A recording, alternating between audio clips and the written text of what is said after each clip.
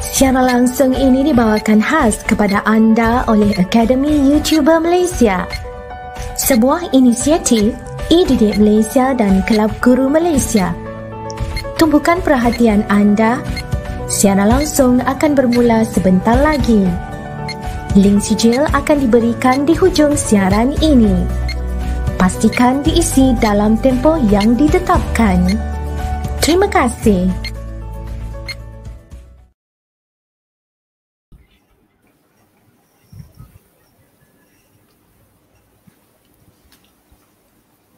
Sirih berlipat sirih pinang sirih dari pulau mutiara.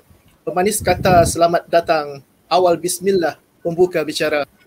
Assalamualaikum warahmatullahi wabarakatuh dan salam sejahtera kepada para guru serta anak-anak pelajar yang dikasihi sekalian. Okey, yang berusaha barisan guru-guru JKT jemputan kita pada hari ini iaitu yang pertama Cikgu Azlin Fazlia binti Abu Kasim eh, mesra dengan palan Cikgu Lin uh, dari SMK Pendeta Zakbar Seremban dan Cikgu Rohani binti Ismail dari SMK Seri Muda Pulau Pinang iaitu selaku presenter kita pada hari ini. Juga pada rakan-rakan sahabat saya Cikgu Zaida binti Mat Jusoh dari SMK Desa Cempaka, Cikgu Ain binti Ahmad dari SMK Kompleks KLIA. Okay, Alhamdulillah cukur kehadrat ilahi dengan limpah kurnianya maka kita berkesempatan untuk mengadakan program yang ini program ni julung-julung kali kita berkolaborasi tiga sekolah eh tiga sekolah dan bersama dengan Akademi YouTuber Malaysia. Okey, tiga sekolah tu iaitu SMK Pendeta Zakbar, uh, SMK Kompleks KLIA dan juga SMK SMK Desa Cempaka. Jadi program ini adalah program menuju cemerlang SPM 2021 bagi mata pelajaran grafik komunikasi teknikal dengan kerjasama panitia GKT Academy Cuba Malaysia. Okay, sebelum kita teruskan program ini, ingin cikgu ingat okay, yang ingin menghantar komen okay, untuk menggunakan bahasa yang sopan dan gambar profil profil yang bersesuaian untuk tontonan umum. Okay, cikgu minta kerjasama eh pada para penonton. Okay, jadi rasanya uh, masih belum telah ucapkan uh, selamat Hari Raya Aidiladha. Okey. Selamat Hari Raya. Okey, bagi memberkati program kita pada pagi ini.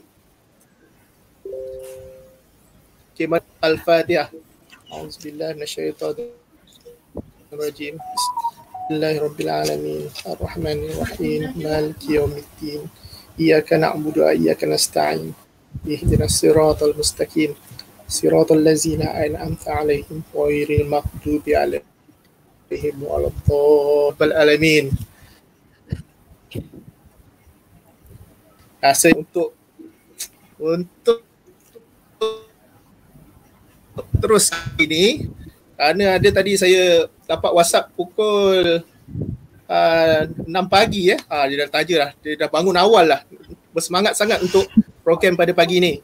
Jadi jadi cikgu nak minta kepada pelajar-pelajar yang dah bersedia tu uh, komen lah. Okay, komen, komen. Uh, okay, sila komen. Kamu dah bersedia, dah bersemangat untuk belajar pada hari ni ya. Okay. Uh, penuhkan komen tu. Baru kita punya presenter kita semangat untuk mengajar kamu. Ha, kalau kamu semangat, cikgu 10 kali semangat lagi. Ha, bukan 10 je, 100 kali. Okay? Jadi tanpa membuang masa lagi dengan ini cikgu menjemput cikgu Lin untuk meneruskan kelas pada hari ini. Persilakan ya. Okey, Assalamualaikum warahmatullahi wabarakatuh dan salam sejahtera semua. Ah, terima kasih semua kerana sudi hadir uh, ke program kita yang julung-julung kalinya kita bergabung eh bergabung tiga buah sekolah sebagai penganjur uh, dan dengan kerjasama Akademi YouTuber dan unit TVET Sektor Pembelajaran Jabatan Pendidikan Negeri Sembilan. Okay. Uh, jadi Uh, terima kasih juga kepada rakan-rakan uh, di Konti, uh, Cikgu Najib, ada Cikgu Ain, Cikgu Ani, Cikgu uh, Zaida yang bersama dengan saya pada pagi ni. Okay, tanya juga pada adik-adik semua yang hari ni bersemangat nak belajar GKT. Okay, uh, belajar GKT uh, kalau tak ada minat susah juga kan. Uh, jadi kalau boleh uh, tanamkan minat daripada sekarang sebab kamu nak SPM ni. Uh, nak SPM yang tingkatan 4 pun sama. Yang tingkatan 4 kalau belum lagi apa uh, SPM pun kamu daripada sekarang kena tahu format-format yang uh, kamu kena apa uh, jawab nanti dalam uh, dalam SPM. Uh. Okey, uh, sebelum saya nak mulakan uh, perkongsian pada hari ini, saya nak kamu tulis nama dan sekolah mana. Uh, cikgu nak tahu kamu daripada sekolah mana. Okey, uh, tulis tulis tulis di ruangan live chat. Siapa yang tak dapat komen tu maksudnya kamu tak subscribe cikgu lagi lah tu. Sila subscribe. okay tekan subscribe sekarang. Sila subscribe uh, baru boleh komen dekat ruangan live chat. Okay tuliskan nama kamu dan juga sekolah mana. Kita nak tengok daripada mana sekolah yang uh, hadir untuk program ini. Ada 98 student. Uh, 98 yang tengah live dengan kita sekarang ni. Uh, panggil lagi kawan-kawan yang masih tidur tu. Share, share, share. Uh, tekan butang share tu, share pada kawan-kawan. Uh, call dia orang suruh bangun. Saya tahu ramai yang uh, sekarang ni yang uh, tingkatan lima ni ada yang pergi kerja lah. Uh, time covid nak pergi kerja. Macam mana lah. Okay, kita uh, kena tumpukan SPM eh adik-adik. Uh, jangan fikir sangat nak cari duit. Uh, fikirkan dulu untuk pelajaran kamu. Okay, yang ada sekarang ni Nolaila. Okey, siapa lagi? Abdul Muhaimin. Okey, siapa lagi? Hafiza. Okey, lagi. Tulis-tulis komen di ruangan live chat. Ha, yang mana cikgu dapat tangkap nama kamu ni ha, naik ke atas. Hanan. Okey, siapa lagi? Yoga. Uh, Afifa. Okey, lagi, lagi, lagi. Okay, tulis di ruangan live chat mana lagi nama, mana lagi nama cikgu nak tam- nak naikkan. Okay, Govin. Oh, daripada Batu Kiki pun ada. Okay, terima kasih Husnina. Raj. Ah. No Laila. Okay, mana lagi? Mana lagi? Mana lagi? Komen, komen, komen. Wah, daripada Kuching pun ada. SMK Petra Jaya Kuching. Terima kasih Arisha. Okay, lagi lagi. Mana lagi? Ah, okay, Danish Irwan. Ah. Okay, jadi program ni bukan setakat di Negeri Sembilan. Ah, sebenarnya ah, seluruh Malaysia pun ada. Boleh tengok cikgu punya ah, apa ah, program ni. Sebab apa? Sebab dia orang dah subscribe cikgu. Ha, mungkin dah pernah subscribe cikgu jadi dia orang ah, nampaklah notification dia. Ah, okay. Ha, ni daripada Bintulu, Rolian, SMK Bintulu. Wow, jauh. Terima kasih. Ha, sudi hadir. Okay, mana lagi, mana lagi? Ha, Pendeta Zabah Aisyah. Okay, ni form 5 eh. Anak Cikgu Najib. Mana ni anak saya ni tak naik lagi ni. Eh, sila komen eh. Saya nak tahu anak murid saya naik ni. dia ada tapi dia tak nak komen. Boleh macam tu. Faizatul ada. Mana Faizatul tadi? Uh, mana tadi? Danish. Uh, ada Danish. Okay Aisyah mana tadi? Seri Pagi. Uh, mana tadi Seri Pagi? Eh salah tu. Okay Syazana. Okay. Terima kasih semua uh, yang sudi hadir. Uh, tulis-tulis nama. Ada Adam Ishraf. Okay.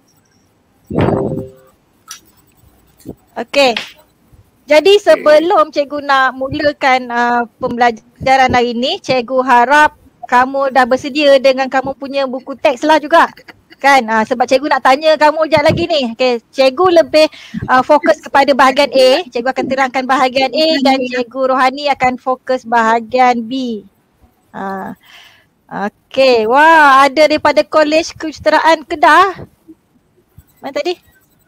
Ah, Kolej Matrikulasi Kejuruteraan Kedah. Ah, terima kasih Amasha. Ah, okay. Saya share. Ah, share mana tadi?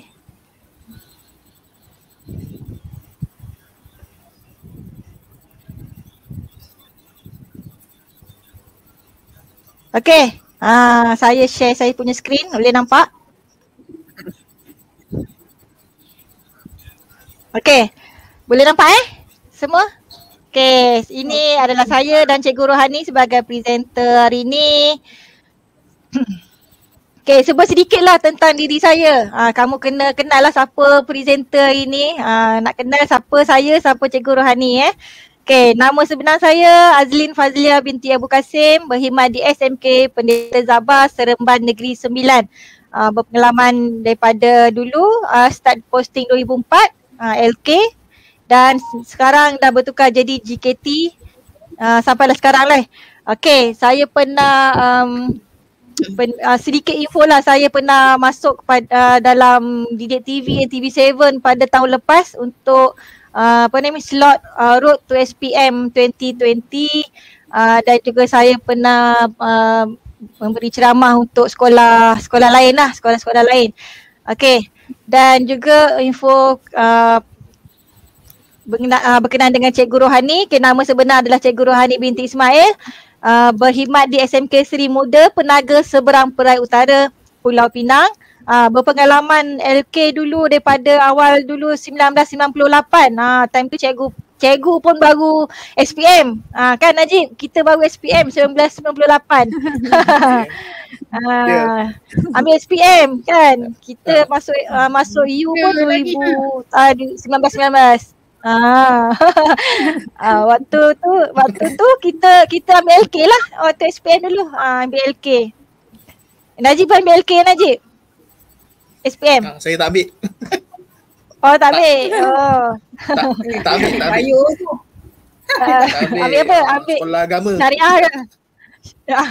uh, uh, ambil account, account. Account. Oh, account. Uh, uh, ini lagi bidang betul ni. Okay. Yalah. Okay, format perpisahan kita kod kertas adalah 3771 palang 1. Okay, kod kertas kamu eh, GKT. Okay, ha, ini dia adalah bahagian A. Ha, bahagian A, menguji pengetahuan dan kemahiran. okay, kelas. Bahagian A ni kebanyakannya kamu kena menghafal kena menghafal dan faham konsep. Kalau kamu uh, hafal sama macam buku, uh, maksudnya kamu bolehlah jawab bahagian A ni. Okey, uh, untuk bahagian A ni kita ada 15 soalan, 30 markah. Uh, 15 soalan, 30 markah. Jadi bahagian A ni 5 soalan 1 markah, 5 soalan 2 markah, 5 soalan 3 markah. Itu masa SPM uh, SPM 2018 dengan 2019 tapi SPM 2020 dia dah bertukar dia dah bertukar tujuh soalan satu markah empat soalan dua markah dua soalan tiga markah satu soalan empat markah dan satu soalan lima markah uh, dia dah tak seimbang dah Okay, dia dah tak seimbang dah. Saya tak tahulah macam mana pula uh, soalan untuk uh, SPM 2021 ni. Uh, adakah dia masih sama dengan SPM 2020 tu? Dia punya level uh, apa nama markah-markah dia tu? Ataupun dia sama macam uh, 2018 dengan 2019 yang lima soalan lima soalan lima soalan ni? Uh, kita tak tahu okey? Ini adalah uh, SPM eh? SPM okey kita tengok seterusnya. Okey untuk bahagian B ni pula Okay, dia menguji kefahaman dan kemahiran. Okay, kefahaman dan kemahiran kamu. Maksudnya kamu kena fa- mahir menggunakan alatan, melukis semua. Okay, ada lima soalan. Okay, lima soalan dan markahnya adalah tujuh puluh markah. Okay, setakat ni uh, bahagian B ni masih sama lagi. Satu soalan dia sepuluh markah. Empat soalan lima belas markah dan masa yang cikgu cadangkan adalah dua jam. Kamu kena tahu, kamu kena urus uh, masa kamu dengan baik. Sebab apa? Masa uh, SPM nanti, masa yang diberi adalah dua jam setengah. Kan, dua jam setengah. Jadi bahagian A tu kamu peruntukkan 30 minit, uh, dua jam untuk bahagian B. Bahagian A untuk 30 minit, bahagian B untuk dua jam. Tapi, tapi kalau kamu pandai uruskan masa, bahagian A tu kamu shortkan, kamu pendekkan lagi daripada 30 minit tu kepada 20 minit ke 15 minit tu lagi bagus sebab bahagian B ni perlukan masa yang sangat lama. Okay, kadang-kadang budak satu soalan pun dia boleh termenung, dia boleh fikir dulu tapi tak gerak lagi tangan dia. Se- itu yang makan masa dan buang masa.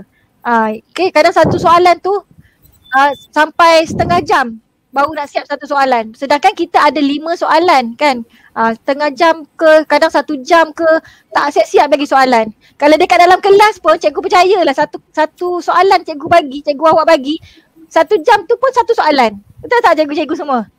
Betul. Lama kan nak dia ni nak menyiapkan. ah. Nak, nak waktu jadi masa tak dapat dia. ah, betul kan cikgu? Ah, kita dah faham dah nama kita ni. Cikgu Lin waktu yeah. ni lagi lah satu soalan satu jam untuk PDPR. betul betul. Aduh, bila betul, betul. bila nak habis silibus kan macam tu? Bila nak habis silibus kita? Seminggu. Soalan. nak ah, tunggu itulah pasal. Ya, sebulan jenuh tunggu. So hantar. Oh, hai, jenuh macam tu. Ah, itulah kan. Jadi anak-anak semua tolong, tolong kena bahagi masa, kena pandai set masa waktu waktu waktu, waktu periksa nanti. Ha, waktu periksa nanti jangan jangan buat macam perangai kamu di kelas ke mana ke. Tak boleh eh. Sebab masa sangat terhad dan masa sangat penting. Okay, awak tinggal satu soalan nampak di sini. Lima belah markah hilang satu soalan. Kalau empat soalan awak tinggal, bayangkan. Ah, bayangkan berapa banyak awak buang markah macam tu je. Okay, kalau boleh JKT ni tak boleh satu pun soalan yang tak berjawab. Mesti ada line, mesti ada garisan. Mesti eh, mesti. Okay, seterusnya. Okay, ini adalah pembahagian ya. Okay, kertas satu kita ada bahagian A dengan bahagian B. Uh, soal ujian kita dalam subjektif dan kita juga ada kertas dua. Kertas dua ni adalah projek kerja khusus kamu. So untuk bahagian A ni, uh, untuk berkertas satu ni, uh, 100 markah tapi kita convert jadi 70%. Okay, 70%. Dan markah untuk uh, kertas dua adalah 100% dikonvertkan dijadi 30%. Okay, markah kerja khusus ni penting eh, sangat penting sebab inilah yang membantu kamu nak jadi uh, lulus ataupun A ataupun B di di bahagian kertas A, uh, kertas satu ni. Uh, kertas satu ni. Sebab kerja khusus kamu kalau kamu dapat full mark 30, andai katalah kamu dapat 30 markah kan. Awak tinggal cari berapa peratus je lagi nak dapat lulus. Ataupun awak dah boleh uh, di, uh, dapat A disebabkan kerja khusus awak ni yang sangat membantu. Uh, jadi kalau boleh buatlah betul-betul kerja khusus kamu. Ikut arahan uh, cikgu kamu. Okay. Cikgu lajukan sikit yang ni. Okay, ini adalah uh, analisis soalan soalan daripada SPM 2018, 2019 dan 2020 yang terbaru sekali. Okey, kamu boleh tengok kat sini. Boleh dikatakan kesemua daripada tingkatan 4 hingga tingkatan 5 semua topik ada keluar. Semua topik. Tak ada satu pun yang skip. Okey, kalau kamu tengok di sini sama ada dia keluar sama uh, di bahagian A ataupun di bahagian B. Uh, Okay, cikgu cerita bahagian 2020 je SPM 2020 uh, yang terbaru uh, tahun ni yang budak-budak uh, uh, senior kamu ambil. Okay, pengenalan pada GKT dia ada uh, satu soalan, uh, garisan, sudut dan bulatan satu soalan. Okay, segitiga, segi empat poligon dia tanya bahagian B. Okay, pembesaran pengecilan. Okay, ada satu soalan bahagian A, uh, tangent. Uh, dia ada tanya bahagian B. Okay, melukis parabola. Okay, ortografik dia tanya bahagian B.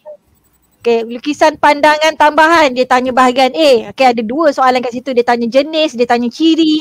Okay, lukisan isometrik dia tanya di bahagian B pula. Okay, dia suruh kamu lukis lukisan isometrik. Okay, untuk bahagian uh, lukisan oblik dia tanya A. Uh, dia tanya uh, dimensi langkah-langkah tersebut. Dan uh, lukisan perspektif dia tanya bahagian A juga ada dua soalan. Dia tanya jenis dan dia tanya fungsi. Apa dia jenis uh, lukisan perspektif, apa dia fungsi dia. Okay, lukisan pengorakan dia tanya bahagian B. Uh, dia tanya soalan dia lukiskan pengorakan jejarian. Okay, lukisan terbantu komputer AutoCAD dia ada tanya dua soalan. Lukisan bangunan dia ada uh, tanya satu soalan bahagian A. Perpaipan pun ada, elektrik pun ada, hiasan dalaman pun ada. So, totally semua topik tak boleh skip, tak boleh kata cikgu, uh, cikgu rasa tahun ni keluar apa cikgu? Uh, cikgu rasa apa yang spot uh, soalan? Ah tak boleh. Tolong eh, tolong. Kita kalau boleh semua daripada tingkatan satu, eh tingkatan satu, tingkatan empat sampai tingkatan lima, semua awak kena masuk dalam kepala. Kena hafal, hafal, hafal. Ah, okay. Okay, apa dia tips sebelum menjawab? Okay, pastikan peralatan lengkap sebelum masuk ke da- ke Dewan Peperiksaan. Uh, jangan nanti ada yang tertinggal. Cikgu saya tertinggal yang kelukis. Cikgu saya tertinggal set square. Aduh, hai. macam mana cikgu-cikgu nak tolong ni kan? Uh, kalau boleh tolong eh sehari sebelum ke malam sebelum ke tolong pastikan kira ni se- semua set-set awak punya melukis awak tu semua ada cukup lengkap. Termasuklah pensel, termasuklah pemadam. Tak ada pemadam macam mana awak nak padam? Ah uh, kan? Okay, yang seterusnya pengurusan masa menjawab. Tadi cikgu dah sebutkan sangat-sangat penting pengurusan masa. Bahagikan masa kamu, pastikan uh, kamu tengok setiap kali tu, uh, ni tengok jam dinding. Uh, kan dia peperiksaan ada jam dinding besar kan. Tengok jam dinding tu. Awak mesti set satu soalan ni mesti berapa minit awak buat. Okay, yang ketiga jawab soalan mudah dahulu. Uh, mudah dulu. Awak rasa susah soalan tu skip sekejap. Jangan tinggal terus skip sekejap. Awak buat je soalan yang awak tahu dulu. Okay, baca soalan dengan teliti. Ha, ni pun masalah pelajar ni, kecuali yang pelajar. Dia tak baca soalan. Dia nampak je gambar tu, dia terus buat. Padahal dia tak tahu oblik uh, cavalier ke oblik cabinet kena lukis. Ha, contoh kan. Okay, gariskan kata kunci dan keluarkan maklumat. Ha, inilah baca soalan kena ambil poin-poin dia. Apa yang kena, uh, yang apa soalan tu nak. Okay.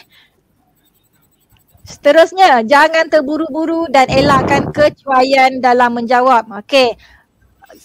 Cikgu tahu pelajar-pelajar nervous masuk dalam dewan rasa uh, bila tengok kertas tu macam gemuruh darah gemuruh tu kan macam uh, sejuk je tangan gegil rasa nak jawab tu kan uh, baca doa dulu tenangkan hati dulu uh, jangan terburu-buru jawab benda tu okay elakkan kecuaian dalam menjawab. Sebab bila blank otak blank kita rasa tak boleh jawab. Tapi kalau boleh kita cool down sekejap. Uh, minta dalam hati ni minta zikir zikir zikir supaya Allah bagi pemudahkan kita punya urusan kita. Okay, untuk bahagian A, beri jawapan tepat sama seperti dalam buku teks. Ah, contoh dia, namakan simbol. Ah, okay, contohlah nama simbol katakan uh, almari pakaian. Ah, kamu tak boleh sebut almari je. Ah, awak kena sebut almari pakaian sebab dalam buku teks tu macam tu dia tulis, macam tu lah jawapan dia. Katil, ah, katil pun sama. Boleh sebut katil double bed. Uh, double bed eh, tak boleh sebut katil double bed, tak boleh gabung. tak boleh gabung bahasa Inggeris, bahasa Melayu. Sebut uh, bahasa Melayu, bahasa Melayu. Bahasa Inggeris, bahasa Inggeris. Okay. Ataupun katil berkembar, katil uh, apa nama? Kata kelamin. Ha, kan? Okay, ini cikgu terangkan sekejap lagi. Okay, kemudian pensel yang berbeza. Ha, yang ini pun pelajar-pelajar kena ada, kena wajib ada sebab kita nak bezakan um, garisan binaan dengan garisan objek. Ha, kamu guna pensel HB untuk objek, garisan uh, binaan 2H ataupun H. Okay. Eh, jadi amat ni. Okey, kejap eh. Macam tu.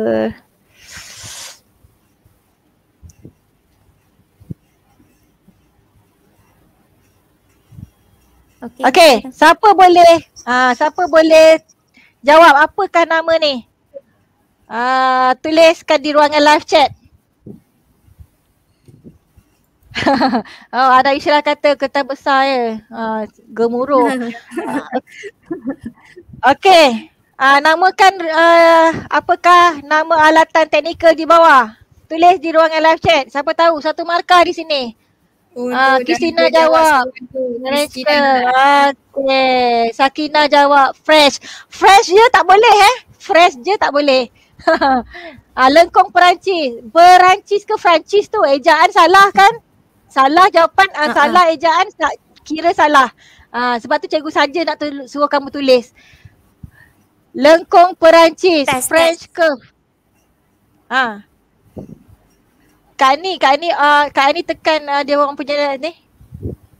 Ya Adam Ishraf tu uh, hilangkan. Okay, ejaan tu, uh, mesti betul. Kalau awak nak tulis bahasa Inggeris, bahasa Inggeris pun kena betul ejaan. Kalau tulis bahasa Melayu, jangan gabungkan. Gak, apa ni, lengkong French. tak boleh eh. Lengkok separa. Ada pula bahasa, bahasa ni. Lengkok separa tak pernah dengar saya. Okay, lengkong Perancis. French curve. Okay, ejaan kena betul. Fried chicken. Biar betul lah awak ni. ha, dalam bahasa Inggeris ada boleh. Satu. Ada satu di sini, Lin. Lengkong ha. Spain. Lengkong Spain pula. Lengkong ha. Amir pun ada. Dia dia dia Spain ke Spanyol ke tak main. Perancis je uh, famous eh adik-adik. Uh, Perancis je famous. Okay.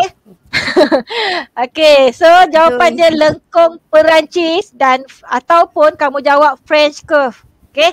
Ejaan mesti betul. Awak salah eja, hilang markah di sini. Okay, walaupun benda tu Di nampak mana senang. datang lengkuk Malayam?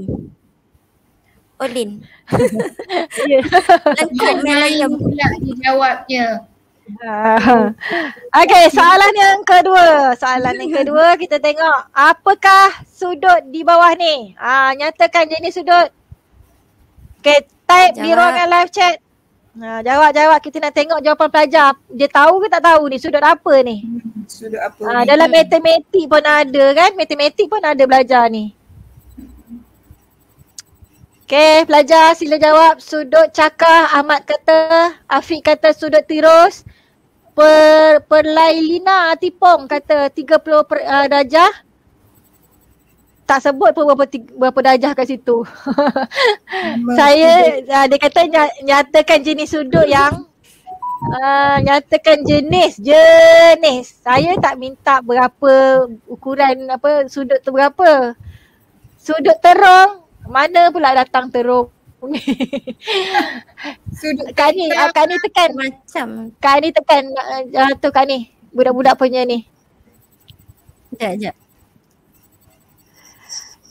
Adam Ishraf kata sudut 30 darjah atau sudut tirus. Okey, kalau nak jawab satu jawapan je. Dalam soal dalam peksa tak boleh jawab uh, dua soal jawapan macam tu. Kalau satu awak salah, kira dua-dua salah. Ah, sudut tirus. Nizam kata sudut tikus. sudut tikus. Ah, tu dia sudut tikus. Kau jawab dalam SPM macam ni, kosong le. Okey, jawapannya Rugi satu adalah markah. Hmm, sudut tirus, okey.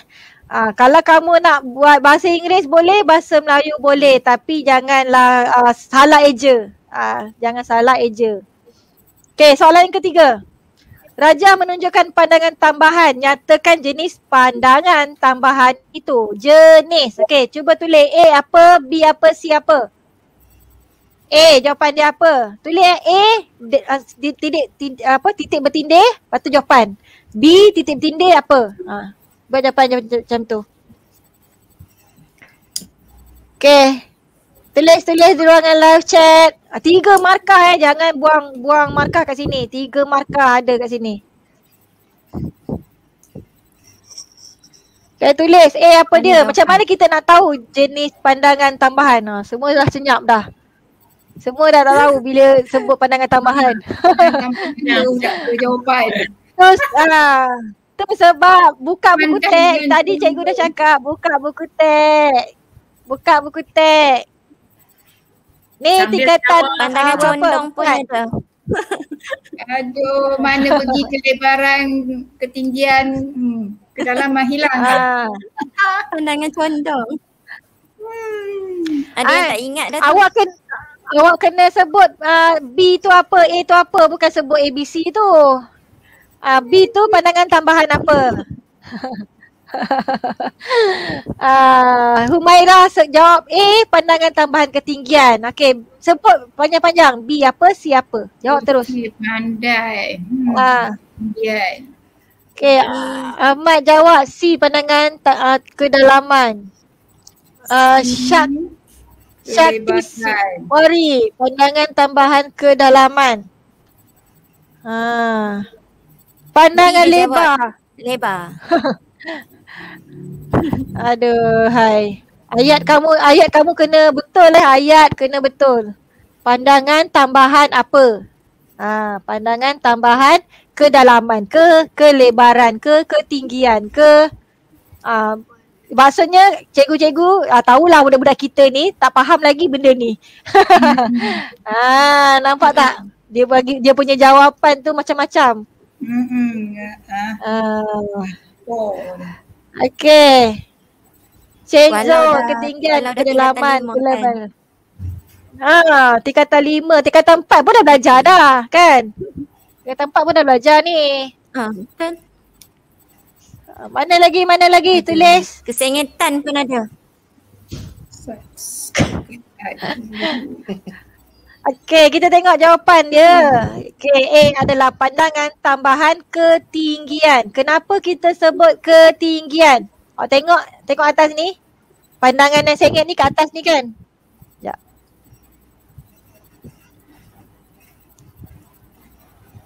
Ah, okay. Oh, nampak yang pandangan condong ke atas ni? Ah, yang sini. Okay, kamu tahu sini adalah lebar. Lebar, sini adalah dalam. Cikgu punya formula senang je. Apa yang tak ada itulah jawapan dia. Jadi yang tak ada dekat sini tinggi. Ha, jadi ini adalah pandangan tambahan ketinggian. Ha. Okay, ni cara cikgu lah, cara cikgu lain-lain. Ha, setiap orang lain-lain cara. Ha, ini cara cikgu.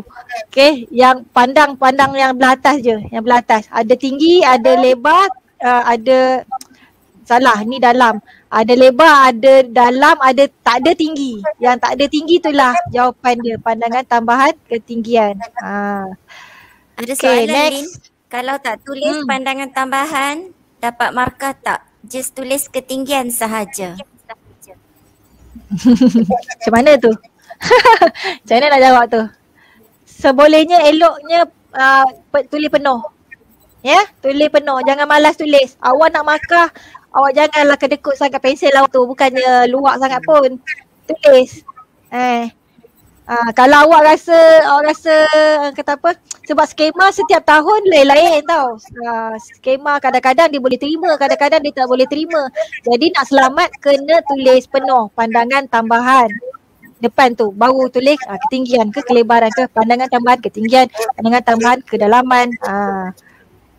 Okay Ah, yang ke B, kita tengok ni pandangan tambahan kedalaman. Okey, ini adalah condong dia. Okey, kita ada tinggi. Kita ada lebar yang tak ada dalam. Jadi ini adalah pandangan tambahan kedalaman.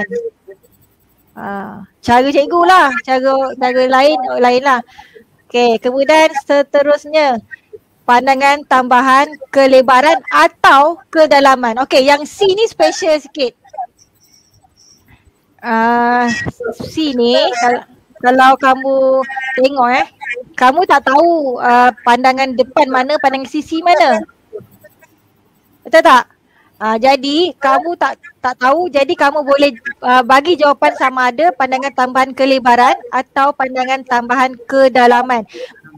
Tetapi kalau dia ada tulis sini adalah pandangan uh, sisi, dia sebut sini dah mention dah siap-siap sisi sini.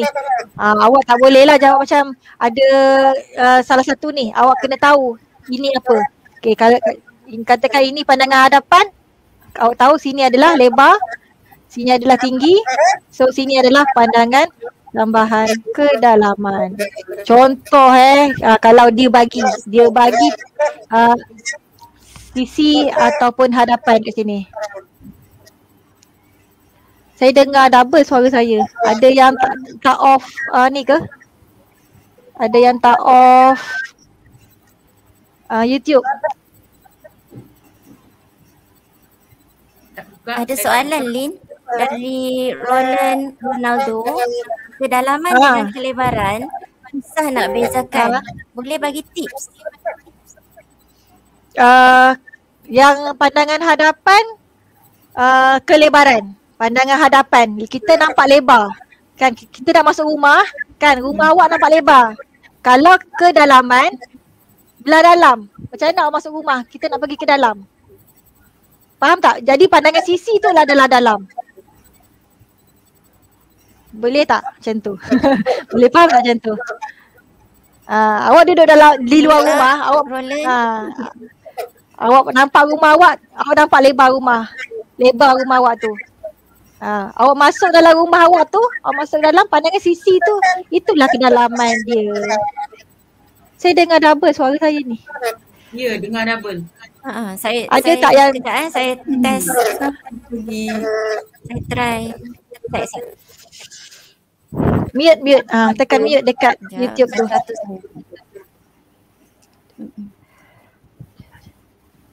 Okey tak? ah okey Ha. okey contoh soalan uh, seterusnya adalah nyatakan dua konsep unjuran ortografik Okay, apa yang kamu tahu tentang ortografik? Konsep apa? Ingat lagi tak?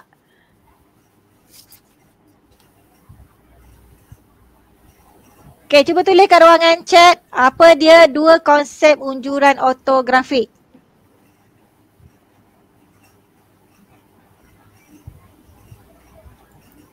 Ada tak jawapan? Belum? Belum belum.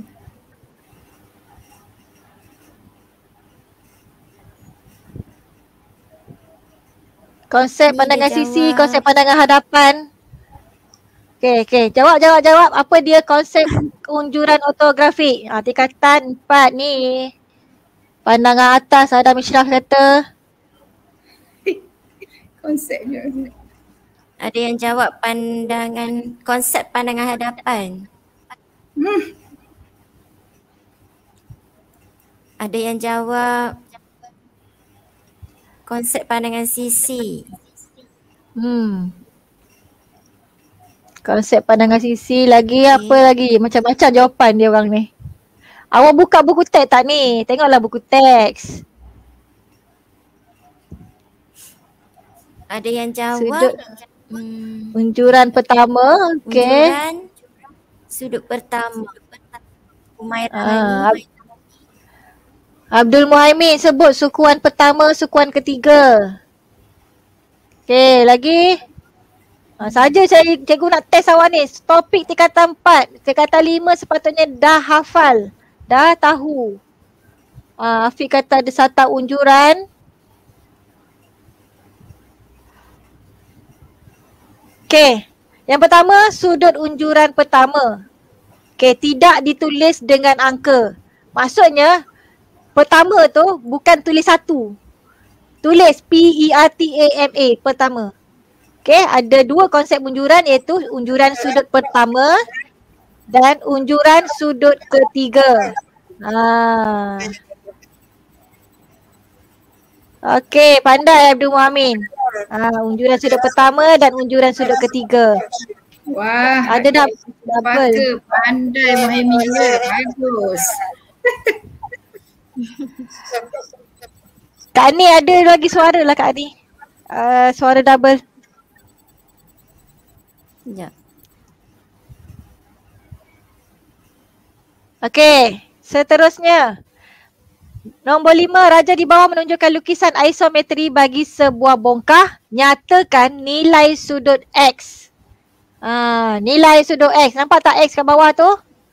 Ha, apa dia nilai sudut X? Biasanya ISO kita guna berapa sudut? Okay, tulis di ruangan live chat. Cikgu dah tengok. Faham tak faham lukisan isometri ni?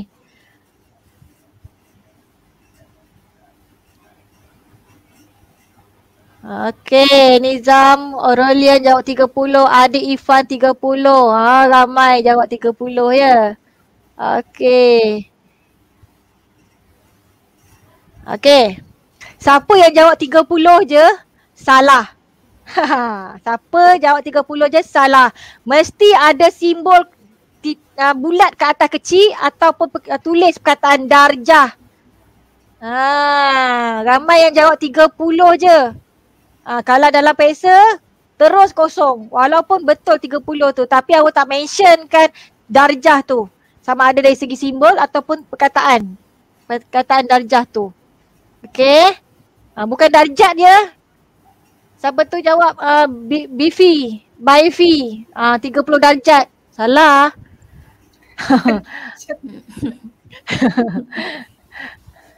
Okey, seterusnya lama betul soalan sekolah kan. Okey, seterusnya yang keenam cikgu nak laju sikit. Uh, Okey, kita uh, kepada uh, AutoCAD. Okey. Jadual di bawah menunjukkan fungsi perintah kendalian lukisan terbantu komputer. Lengkapkan jadual itu dengan menulis perintah kendalian yang sesuai. Ha, yang kosong tu apa dia? Digunakan untuk memindahkan kedudukan objek dari satu titik ke titik yang lain.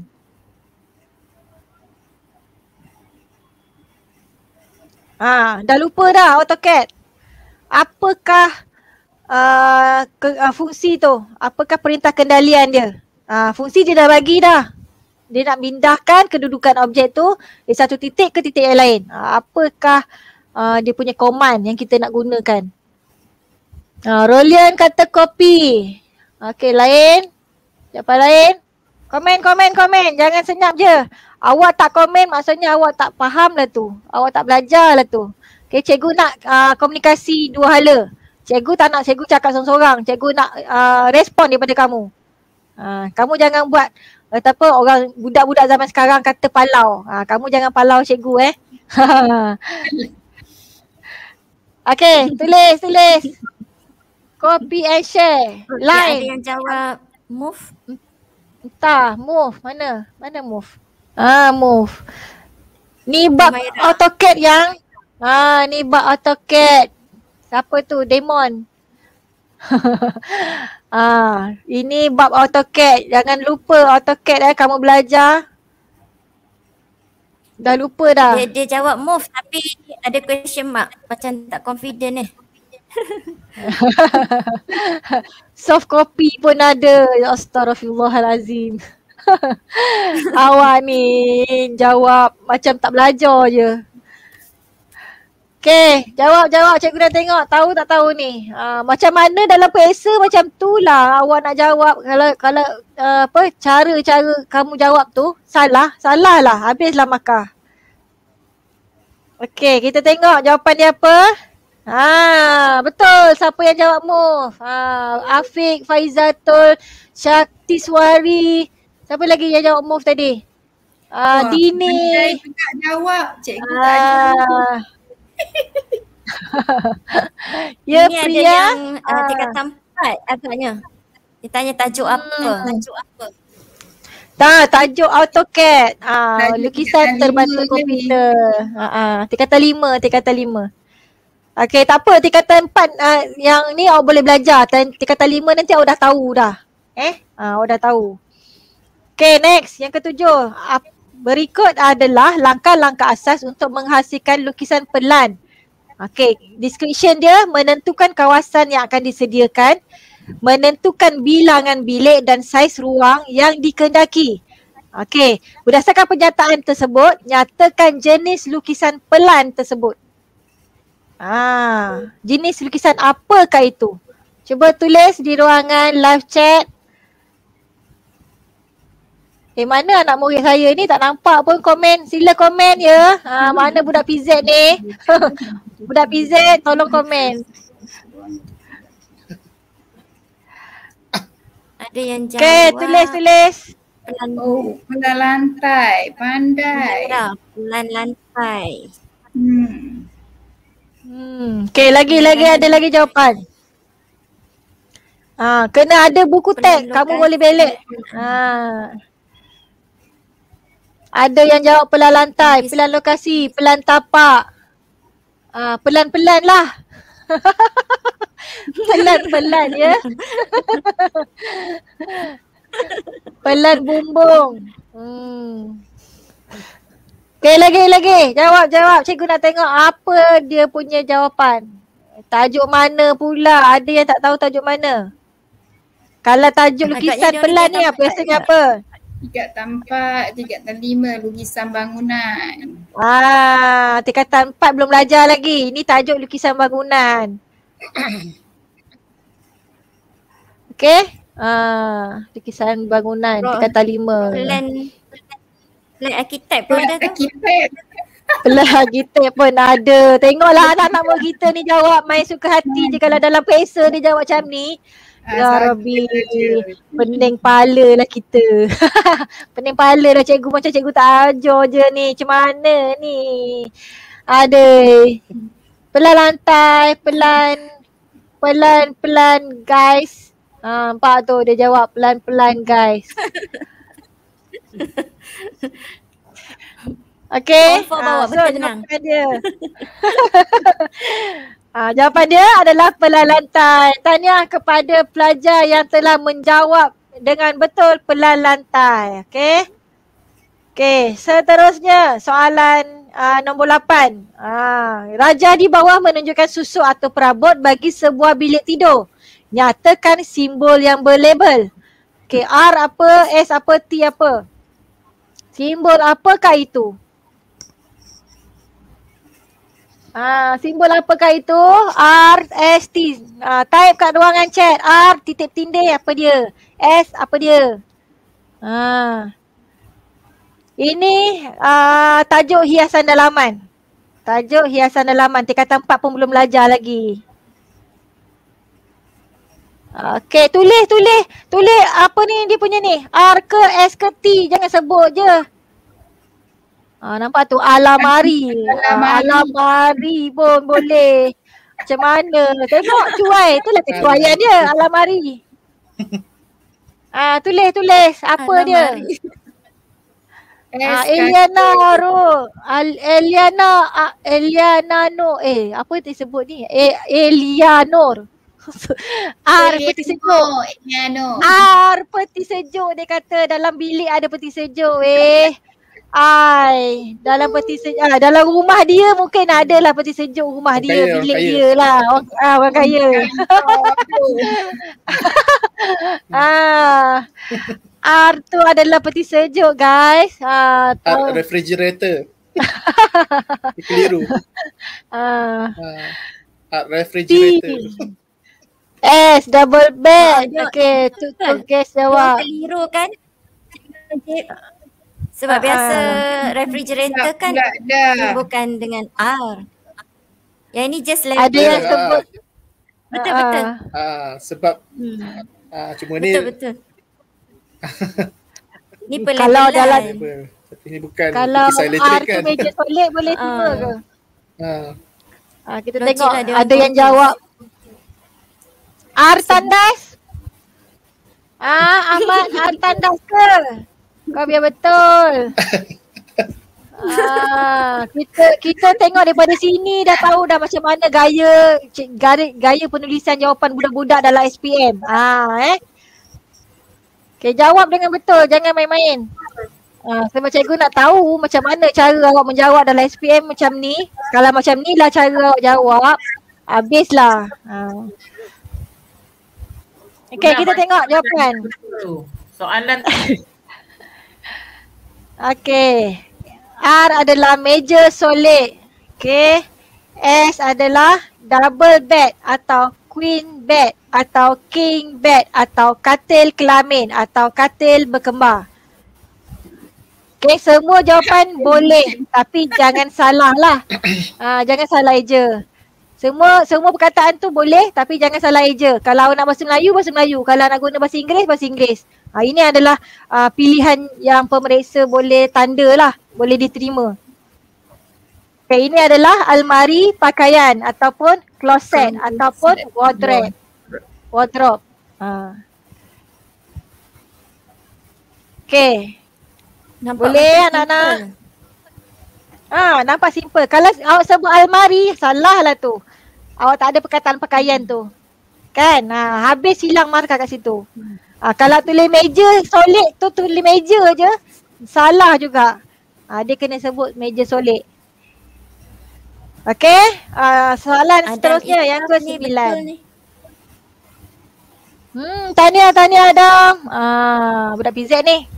Ah, nama dia Cikgu Najib. Okey, yang ke-9.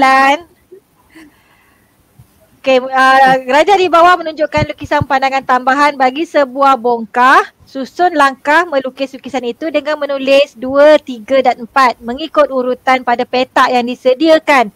Langkah satu diberikan. Okey, tengok gambar tu.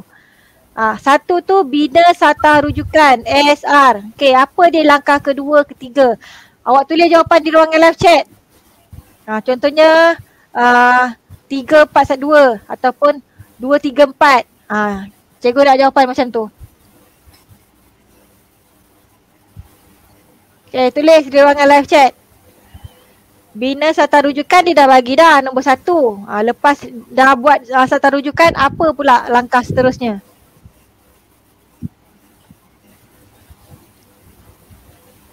Ada tak jawapan? Eh tak ada tulis. yang jawab. Duk fikir. Ah, tulis. Tulis, tulis kat bawah tu. Pelajar ni dia fobia tengok soalan lukisan tambahan ni. Hmm. Kan? Betul. Padahal dia tak sanggup pun. Dia nampak je soalan ni terus skip. Kenapa? Kenapa Ah, fobia? ah. Susah pada dia Dia orang. dah set dah dalam Ah. minda. Ha, dia dah Okey, ada yang jawab 4132, ada jawab 4243, ada yang jawab 3142. Okey. Intan 3142. Ati 3142. Okey. Lagi lagi lagi. Ada yang jawapan lain daripada yang lain? Okey, ha, ramai yang jawab 3142. Okay, kita tengok jawapan dia. Okay, yang kedua bina garisan serenjang dari pandangan atas ke sata XY. Kemudian pindahkan ukuran dari sata rujukan SR ke sata XY. Dan akhir sekali sambungkan semua titik dan lengkapkan lukisan. Ada tak siapa yang betul? Semua betul? 3142. Yeay! Ramai yang betul. Ramai betul. Ah. Julia sekolah KLIA betul. Ah, bagus bagus bagus. Okey. Ah, Tanya. Ramai pandai pula teka nombor. ah, pandai. Maksudnya kamu faham dah tu. Faham dah tu lukisan pandangan tambahan. Bagus. Ah, hebatlah cikgu awak ajar ni. Hebat hebat. Ah. Okey, seterusnya. Ah, lagi susun. Lagi kita susun. Okey, raja di bawah menunjukkan lukisan pengerakan bagi sebuah silinder terpotong lurus. Susun langkah melukis lukisan itu dengan menulis 3, 4 dan 5. Okey. 1, 2 dan 6 dah diberikan. Ada lagi suara bergema lah. Ada tak yang belum tutup ni? Rasa daripada Cikgu Ain kot. Ya, ada bunyi. Saya tak buka Ha ah. Saya tak Tadi saya Hmm, tutup. ha. Hmm. Bunyi. Saya tak buka YouTube pun. Kalau saya mute dia bunyi. Tu okey. Okey. Ah, Ah, mute. okey, dah Kalau siap dah. Tak ada. Ah. Tadi dah Ah, ah. mute dah. Ha. Okey, ada jawapan? Ada jawapan. Okey, yang ada pertama yang tu bahagi bulatan kepada 12 bahagian. Ha, yang pertama tu. Okey, yang kedua tu dia kata unjur garisan dari pandangan atas ke pandangan hadapan. Ha, unjur daripada atas bawa ke depan kan. Okey, yang ketiga mana jawapan dia? Okey, kemudian last kali nombor 6 tu lengkapkan lukisan pengorakan.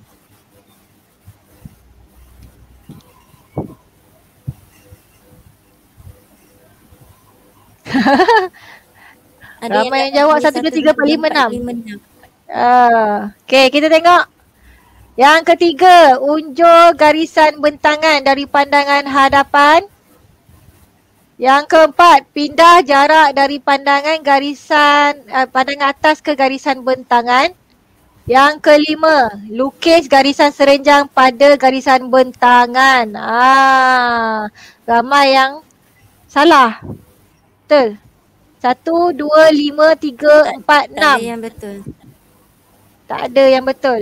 Kenapa eh? Dia orang salah. Kenapa yang salah? Dia salah. Satu, dua, dia jawab tiga. Nombor lima tu dia jawab tiga. Lukis garisan serenjang pada garisan bentangan.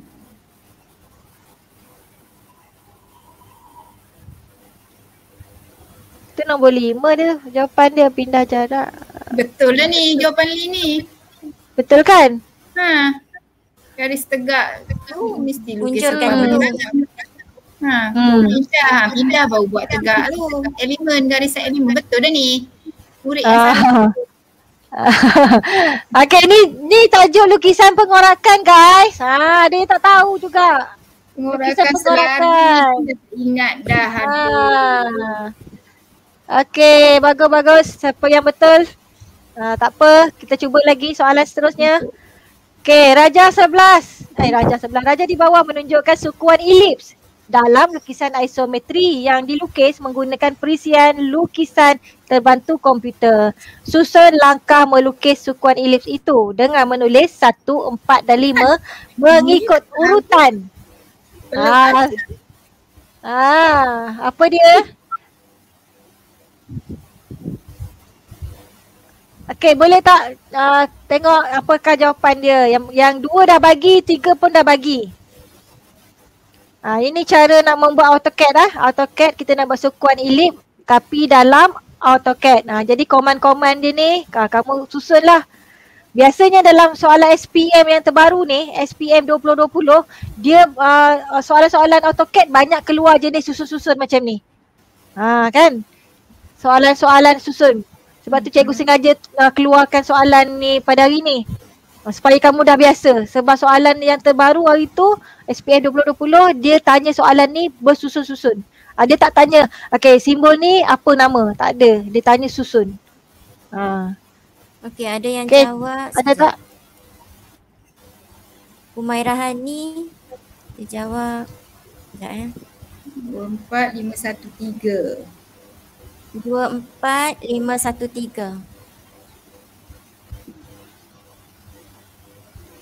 Okay, okay jawab, jawab. 245. Ah, siapa boleh jawab betul? Kita tengok siapakah yang betul.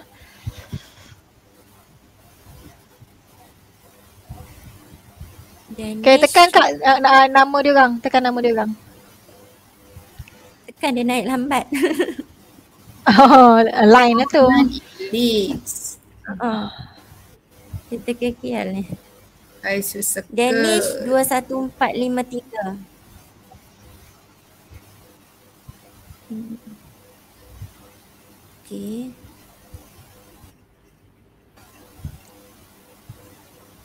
Okay, ada jawapan. Ah, yang yang lain sikit Ro- Rolian Rolian Ronaldo tu. 24513 tu. Lain sikit. Orang lain jawab. 1 21453. Ah, kita tengok yang siapa lagi. Okay, kita tengok jawapan. Ah, yang pertama, Commander Ellipse. Kedua, ah, jawapan dah bagi. Ketiga yang kat bawah tu, specify center of iso, iso circle. Yang keempat, specify radius of iso circle. Yang kelima adalah trim. Ada tak jawapan yang betul? 24513. Ada? 24513. Ha, cuba. Oh, Roland betul. Wow. Ah, tahniah tahniah Rolian Ronaldo. Oh, hebat. Ah, ni pandai ni AutoCAD ni. Dah boleh jadi arkitek. Okey, yang lain ah salah salah apa ah, bahagian mana tu? 2 4 2 1. Ramai jawab 2 1 eh. 2 1 2 4 5. Ah dia terbalik 1 dengan 5 tu. Ah ramai yang salah. Okey, yang ke uh, seterusnya. Raja di bawah menunjukkan lukisan perspektif. Kenal pasti lukisan itu dengan menulis P, Q, R, S, T dan U. berdasarkan jenis lukisan berikut. Ha, lukisan perspektif satu titik apa dia? Ah nombor kan, nombor kan. Bukan nombor, apa tulis huruf tu? P ke, Q ke, R ke, ha, S, T, U. Ha, cuba tulis di ruangan live chat. Bagian ah tulis A kurungan ha, ha, atau apa kamu jawab apa jawapan dia.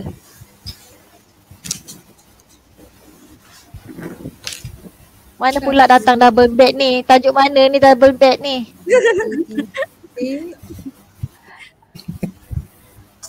Okey, ada yang pertama jawab tu. Ah, okey. Apa tu Humairah ni? PRT. PRT. Okey, uh, satu titik eh. Satu titik ke tu? R tu. Uh, Syazvi naik satu titik. P S T. Hmm. S tu satu titik ke? Kalau jawab satu jawapan je untuk satu soalan, boleh? Boleh.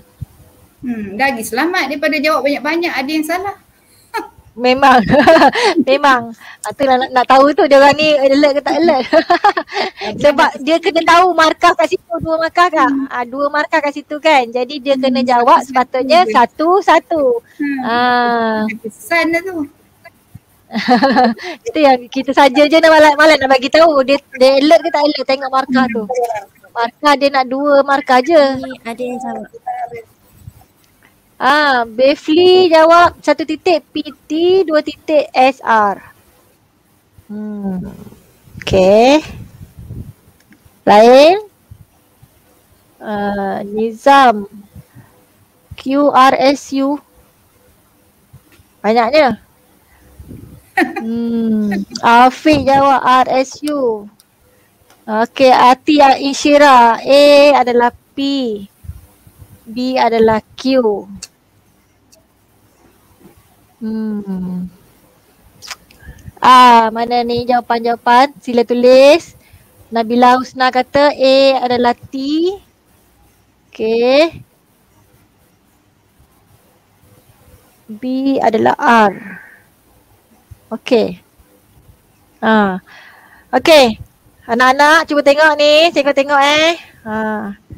Lukisan perspektif satu titik. Okay, kalau kamu nak tahu dia satu titik ke dua titik, awak gariskan. Gariskan daripada depan ni. P ni tarik ke belakang. Ha, dia jumpa ke belakang. Ha, kan? Jumpa ke belakang satu titik ni. Ha, macam tu. T ialah ha, dia tarik sini daripada depan ni, tarik ke belakang ni. Depan ni, tarik ke belakang. Dia jumpa ke belakang. Okay, ni adalah satu titik. Kalau nak selamat, jawab satu je. Jangan jawab dua-dua. Kalau betul P awak P dengan T awak jawab, tak apa. Tak ada masalah. Awak, awak selamat dapat markah. Tapi kalau awak tulis P dan R, dah hilang markah kat sini. Walaupun P awak betul. Okay, sebab yang kat sini, markah dia dua markah. Jadi, uh, ambil jawapan satu saja. Satu jawapan untuk A, satu jawapan untuk B. Okay, sebab markah dia nak hanya dua markah. Kalau awak jawab P dan T, awak selamat. Markah ada. Kalau awak jawab P dengan B dan Q, awak dah hilang markah kat situ. Okay. Okay, perspektif dua titik, R dan S. R, mana R? Ha, ni R. Okay, R. Awak tarik ke belakang. Okay, ini adalah dua titik.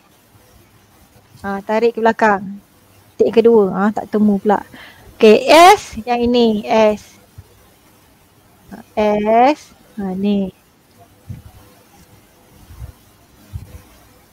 Okay. So kalau awak jawab R dan S betul satu markah tapi kalau awak jawab R saja pun betul satu markah awak jawab S saja pun betul satu markah tapi kalau jawab R dan P hilang markah uh, awak jawab uh, R Q T Uh, awak dah salah dengan yang lain walaupun satu tu betul, R tu betul, yang lain tu awak semua salah, salah lah, hilanglah markah awak. Uh, pangkah lah awak dapat.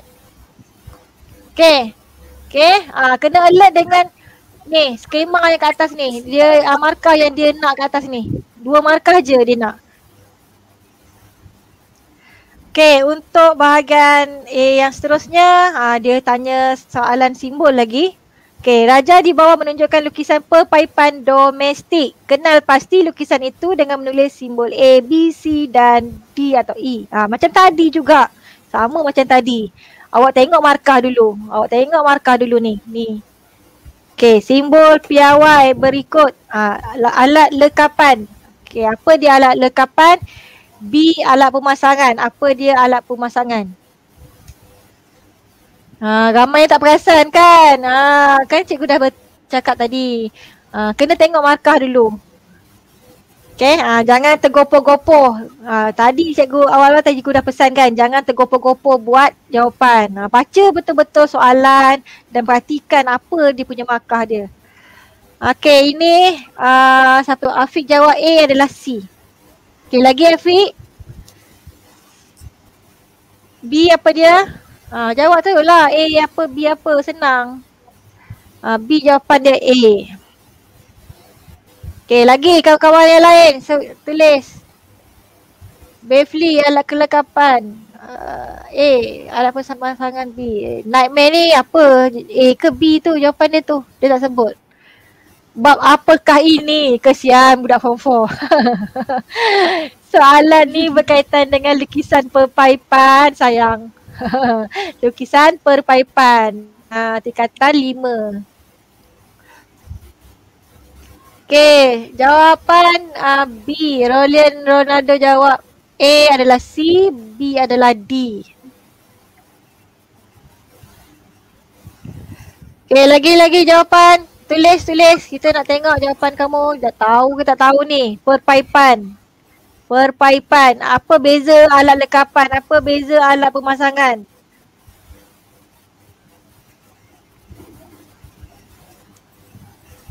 Sambil menjawab kita boleh ulang kaji buka buku teks. Hmm, ya yeah, betul.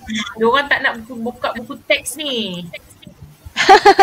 betul lah tu kain. Ada yang Dia orang ni main tentara je. Ada yang confuse hmm. je. Dengan alat pemasangan. Hmm apa beza uh, alat lekapan dengan alat pemasangan tu ha Okay, ah, tak apa yang form 4 boleh boleh try jawab manalah tahu ah, awak pandai dah nanti tingkatan 5 dah jawab tingkatan 4 dah tahu dah. Boleh je jawab. Okay. Ada jawapan? Form 4 boleh cari buku teks digital eh. Ah, JKT. Ah, betul-betul. Cikgu-cikgu share. Cikgu-cikgu share yang tingkatan lima punya. Belajar advance sikit dia orang ni. Okay, tingkatan empat. Ah, boleh tengok daripada buku digital. Okay, Faizatul jawab A. A, B adalah C. Okay. Dennis jawab B adalah C dan B. Ha? Uh, B adalah C dan B. Oh.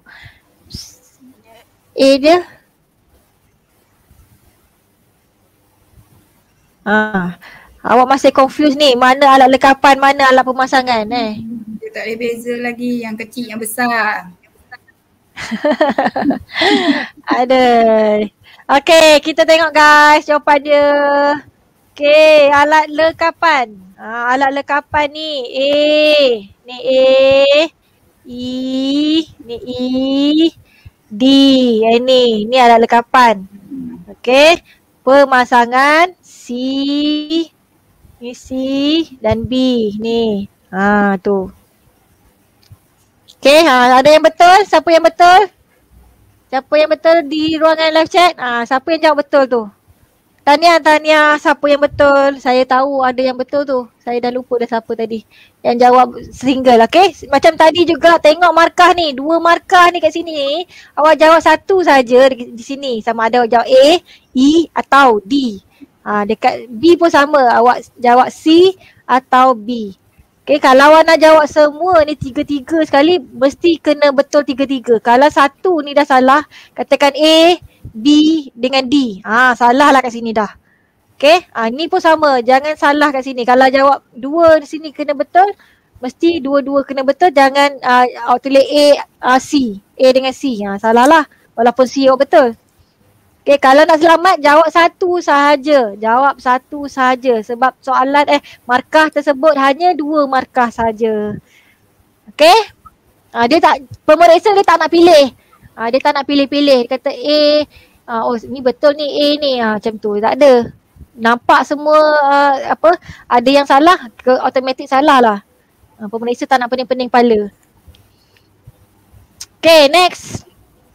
Okay, Raja di bawah menunjukkan sebuah pentagon sekata. Nyatakan dua ciri pentagon itu. Nampak tak dua markah sahaja di sini. Ha. Okay. Ha, cantik. Ha, jawab, jawab, jawab. Apakah ciri pentagon? Ciri pentagon. Tulis, apa dia orang rasa pentagon ni? Okey Afiq, sama sudut, sama panjang, sama sudut, sama sisi. Sisi sama, sisi sama, eh apa ni jawab? Sisi sama, panjang sama. Oh, dia punya ayat. Sisi sama dan sudut dalaman sama. Ha. Sisi sama panjang, sudut dalaman yang sama. Ha. Tidak sekata dan mempunyai sisi-sisi, lima sisi. Okey. Ha, tidak sekata. Hmm. Okey, lagi-lagi lagi. Faizatul kata mempunyai lima bucu dan lima sisi. Hmm. Zulaika kata jumlah sudut 540 darjah.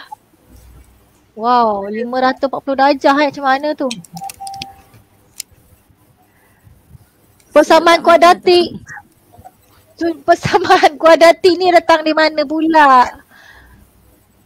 Ini matematik dah masuk ni.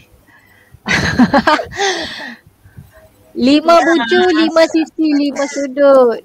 Ambil jawapan yang mudah, tak payah fikir yang susah-susah. Aduh. Ha.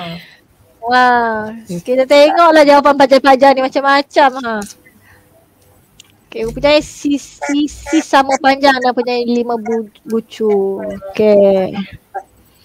Okay, kita tengok jawapan dia. Okay, pertama, lima sisi sama panjang atau semua sisi sama panjang atau sisi sama panjang. Ayat-ayat ni boleh diterima untuk pemeriksa lah kalau kamu tulis macam ni. Okay. Yang kedua, nilai sudut dalaman sama atau kamu boleh juga jawab mempunyai lima paksi simetri atau paksi simetri sama dengan bilangan sisi. Uh, okay. Inilah antara antara jawapan yang boleh diterima oleh pemeriksa. Okay, seterusnya last uh, last soalan. Yang ke-15, soal jadual di bawah menunjukkan pengelasan bongkah dalam lukisan pengorakan. Nyatakan kaedah pengorakan berdasarkan pengelasan bongkah yang diberi pada ruang yang disediakan. Okay. Ha, yang tadi ada yang jawapan betul ke tadi? Ada kak?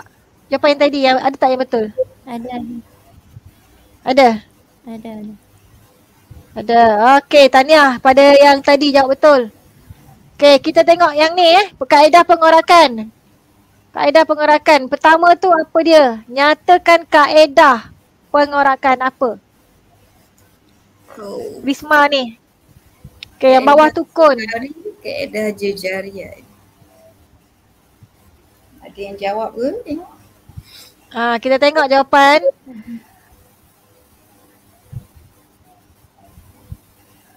Aisyah. Okay, kita tengok dua markah. Kaedah selari dan jejarian. Okay. Lagi-lagi. Julia Syazwana, kaedah selari dan jejarian. Syakti Suari, kaedah selari, kaedah jejarian. Uh, Syasha, satu, selari. Dua, jejarian.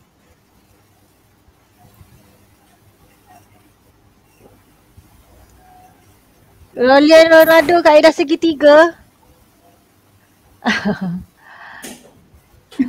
Tiba-tiba segitiga. Ada Mishra, kaedah jejarian dan kaedah selari. Okey. Afiq, kaedah jejarian dan selari. Hmm. Okay, kita tengok guys jawapan dia. Okay, yang ini adalah kaedah selari ataupun kamu boleh juga jawab selari saja. Okay, yang ini adalah kaedah jejari ataupun jejari saja ataupun kamu sebut jejarian saja pun boleh diterima oleh pemeriksa. Oh, tiga-tiga boleh terima eh? Boleh. Ada cikgu kat buku teks. Aha, ya ke? Jawapan nak salah tu. Okey.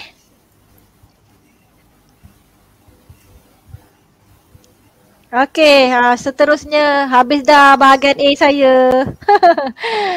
Okey, saya pas kepada Cikgu Rohani untuk teknik menjawab bahagian B. Okey, ha, terima kasih semua. Okay, Cikgu Rohani, kan, dipersilakan. Ah, nak iklan ke? Akak tekanlah iklan. Ada iklan. kejap, kejap. Saya keluar dulu. Tak eh.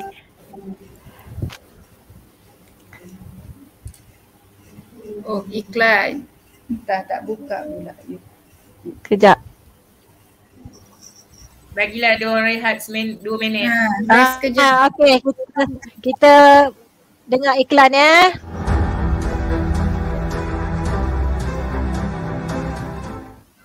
Alah, apa ni? PKPB lagi. SPM pula ditangguhkan. Jenuhlah nak bayar yuran tuition. Pernah dengar tentang tuition percuma? Kami di Akademi YouTuber menyediakan tuition online secara percuma kepada Lain anda sebelum. semua. Ada prasekolah, sekolah rendah, sekolah menengah, STPM juga untuk matrikulasi.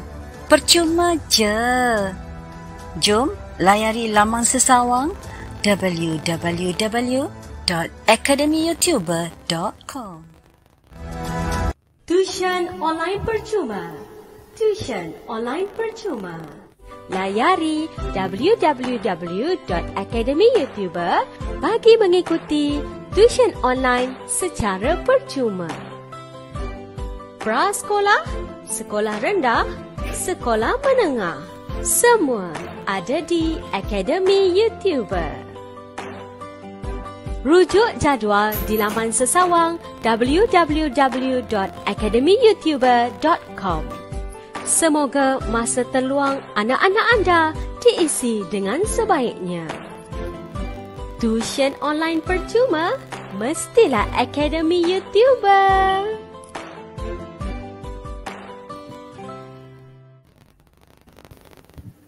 Okey, uh, silakan Cikgu Rohani. Share screen. Kejap eh, line dia problem. Ha uh, dia, dia dia hang. Oh. Okey, uh, sabar ya anak-anak. Uh, siapa yang nak minum air, minum air dulu. Hmm, minum air, Ain. Minum air. Okey, kita boleh kak ni? Dia tak masuk. Sekejap. Ada tak? Sekejap eh. Cek dulu. Belum, belum keluar lagi. Tengah pusing. Tengah pusing-pusing tu. Oh, dia lambat sangat. Ha, tu dah. Ha, okey dah. Rasanya dia Naik kak. Ah, buka uh, tu, akak punya tu. Okey. Okay. Lambat betul saya punya line. Macam sangkut sikit. Ya eh. Okay, uh, ada yang pelajar-pelajar tak boleh komen di ruangan live chat tu. Awak kena tekan hmm. subscribe dulu eh. Ah, uh, ada masalah uh, tekan subscribe dulu. Tekan subscribe, tekan loceng, uh, tekan like. Lepas tu awak refresh balik uh, apa nama uh, YouTube ni. Uh, dia kena refresh balik. Okay. Uh, okay, Assalamualaikum dan uh, salam sejahtera uh, cikgu harap masih lagi orang kata bersemangat lah untuk kita meneruskan uh, bahagian B. Suara jelas eh? Jelas. Okey. Um, diam tak diam sekarang jam menunjukkan 12.25. Okey. Hmm. Cikgu cuba untuk habiskan dalam masa berapa lama Alin? tak apa, terus je kak, terus je. tak ada tak ada hak 30 minit lah. Tapi tak tahulah eh. Kalau saya terlajak tu tolong uh, peringat-peringat lah. Bahagian, bahagian B penat uh, penat jugalah sebabnya kita uh, kena fokus satu persatu soalan tu. Uh, kan? Okey. Betul tak? Uh, kalau uh, boleh kita nak. Uh, Okey, untuk uh, siaran hari ni, kita tak akan uh, pergi setiap topik lah. Okey, kita akan fokuskan kepada lima tajuk sahaja untuk slot yang ini. Okey, insyaAllah kita akan teruskan. Okey, soalan satu, kalau kita perhatikan di sini, soalan dia Raja satu. Satu A eh, di bahagian bawah sini menunjukkan satu plat pencontoh diberi pada kita A, B, C, D, E. Okay. Dan uh, berdasarkan raja 1B di sini, okay, kalau kita perhatikan dah dia bagi kat kita sebahagian, just a part of. Okay. Kita dikendaki untuk buat apa? Ha. Pelajar kena baca soalan ni secara menyeluruh. Jangan just tengok-tengok gitu je.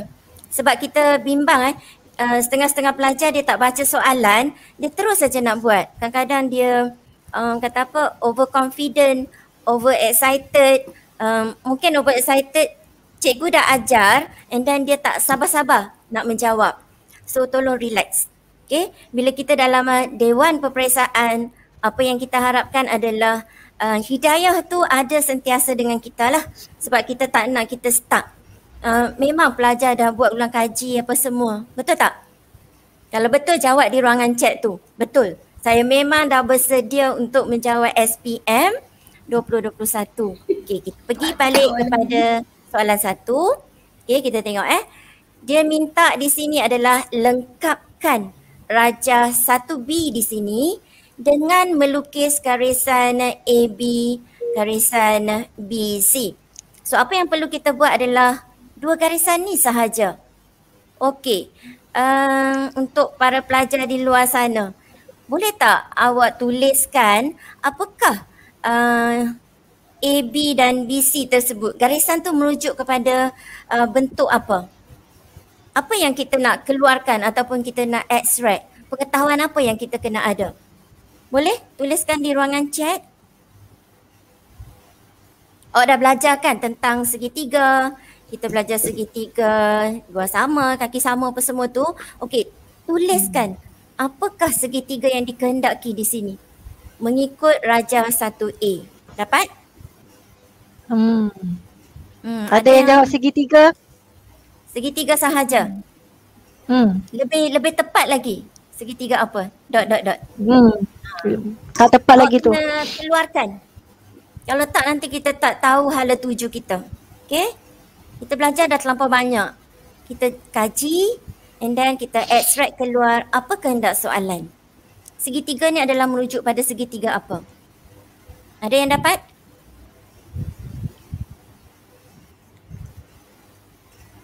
Apa info yang kita ada? Sudut refleks. sudut apa sudut refleks? lagi lagi lagi lagi. Ha. Segitiga segitiga sudut puncak. Okey, segitiga sudut hmm. puncak. Okey, tahniah bagi yang jawab segitiga sudut puncak. Jadi, ilmu yang kita perlu ada adalah kita nak keluarkan apakah uh, kaedah atau konsep yang mengkehendaki kita untuk teruskan menjawab soalan segitiga sudut puncak. Okey, fokus kita adalah pada cuba tengok betul-betul eh. Sekejap. Okey diberi pada kita ni yang nampak tak 60 darjah merupakan sudut puncak kita okey uh, so langkah pertama yang perlu kita buat adalah okey yang ini biasanya kalau dalam buku teks dia akan terus sahaja akan uh, bagi kita satu kaedah untuk kita uh, teruskan untuk mendapatkan dia punya pembahagi tengah garisan AC Okay, tapi dia sebenarnya asal usulnya datang daripada mana? Okey, dengan melihat 60 darjah pada B, asal-asalnya jika kita pilih pada bahagian A atau C untuk start kita punya drawing, tak ada masalah. Okey, di sini cikgu nak tunjukkan lah, katalah kita start di A. So bukaan kita, okey, garisan AC memang kita kena sambung lah sebab, uh, dalam garisan binaan. Okey, asal usul 60 tu. Ah, 60 dia akan duduk di sebelah bawah sebenarnya. Okey. Di sini katalah 60 darjah. Ini adalah konsep uh, asas ataupun asal usul datangnya segitiga sudut puncak tersebut. Okey. Bila 60 dah kita uh, construct di sebelah garisan AC, okey, barulah kita akan top up dengan uh, sudut berapa supaya sudut ni akan jadi sudut pelengkap. Kita akan tambahkan di bahagian atas, okey ni ya kita garisan garisan binaan. Okey, kita top up 30 darjah. Nampak tak? So, bila kita total up di sini, dia akan menjadikan 90 darjah. Itu adalah konsep bagi segitiga puncak. Okey, tapi yang bahagian uh, lorekan ataupun binaan yang cikgu lukiskan di sini, dalam buku teks dia tak tunjukkan. Cuma di sini cikgu nak bagi lah Okay, asal usulnya macam mana kita nak construct 30 darjah tu. Okay, asal usulnya adalah dari 90 darjah. Boleh eh? Boleh dapat ni eh?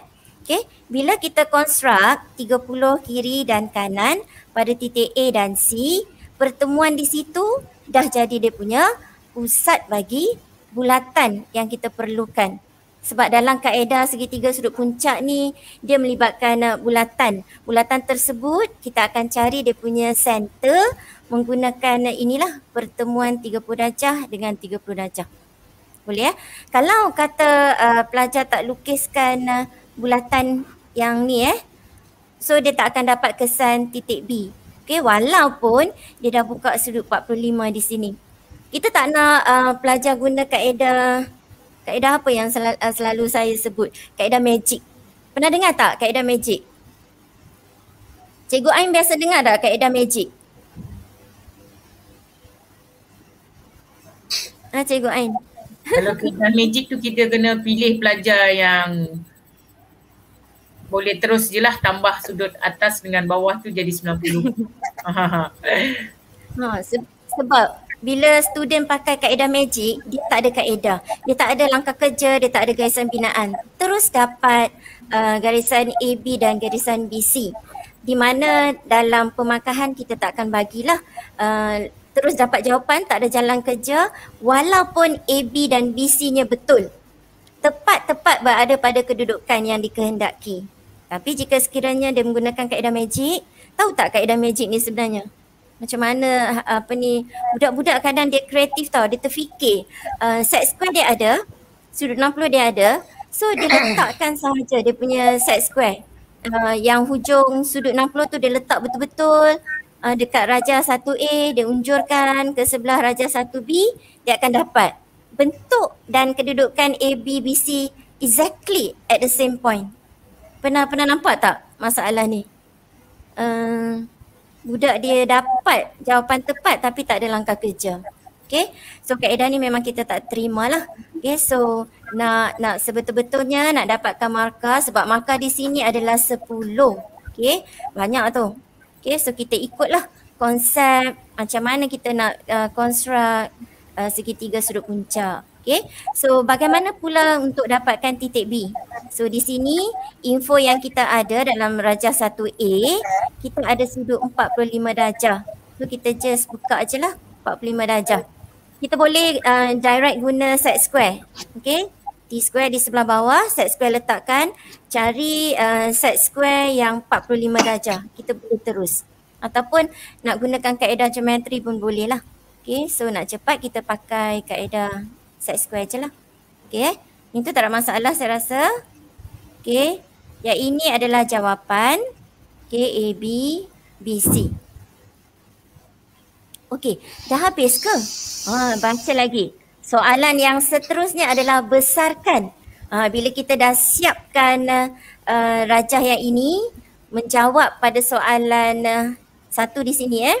Okay, So kita teruskan uh, dia minta kita supaya besarkan Raja 1B mengikut nisbah 5 4. Ha, so kita kena cari pula lah apa pula kaedah yang perlu kita extract ataupun perlu kita keluarkan. Sebab bila sampai dekat bab pembesaran, pengecilan, dia akan hanya ada dua kaedah yang akan kita gunakan. Sama ada yang pertama adalah kaedah menggunakan nisbah luas dan satu lagi adalah nisbah sisi. Kedua-dua merupakan uh, kaedah yang berbeza tapi hasil end product dia akan dapat uh, bentuk yang sama. Okay, uh, saiz yang sama. Cuma kedudukan dia akan uh, beralih sikit lah. Itu pun bergantung kepada di mana pemilihan titik A dan titik C yang kita jadikan sebagai kita punya starting point. Boleh faham tak? Okay. So kita teruskan eh. Okay. Di sini nisbah sisi amat simple. Jangan complicatedkan diri awak. Okay. Nisbah sisi, nisbah luas tak sama langsung. Kalau you salah je guna kaedah, minta sisi pergi buat luas. Penat tau. Ha. Buang masa dah kat sini. Okay. So rugilah. So hati-hati eh. Baca soalan dan tolonglah highlightkan.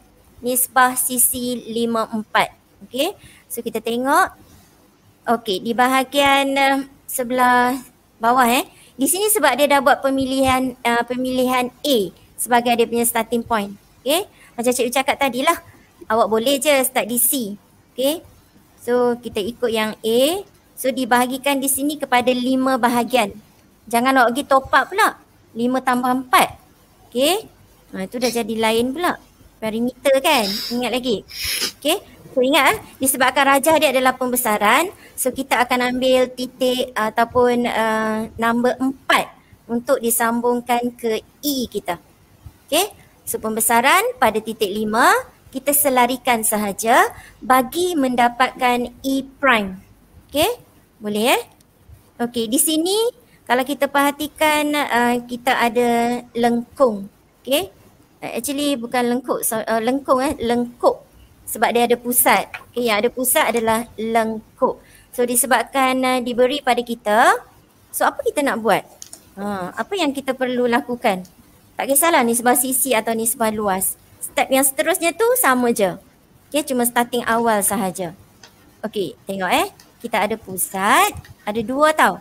Satu bulatan kecil, satu lagi ada yang di sini, sebahagian uh, bulatan. Okay, so kita akan... Uh, buat garisan pancaran okay, pada setiap titik ataupun uh, setiap bucu termasuk dengan pusat. Okey, langkah kerja yang yang tengah on sekarang ni eh. Boleh faham tak?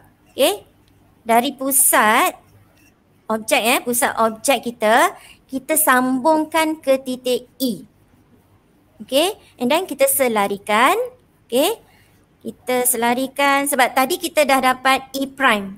Okay. So info kita ada, kita ada E prime, kita ada pusat objek dan titik E iaitu titik objek. Fokus kita sekarang adalah nak mencari pusat image. Yang kita nak lukis, yang color biru tu adalah image kita lah.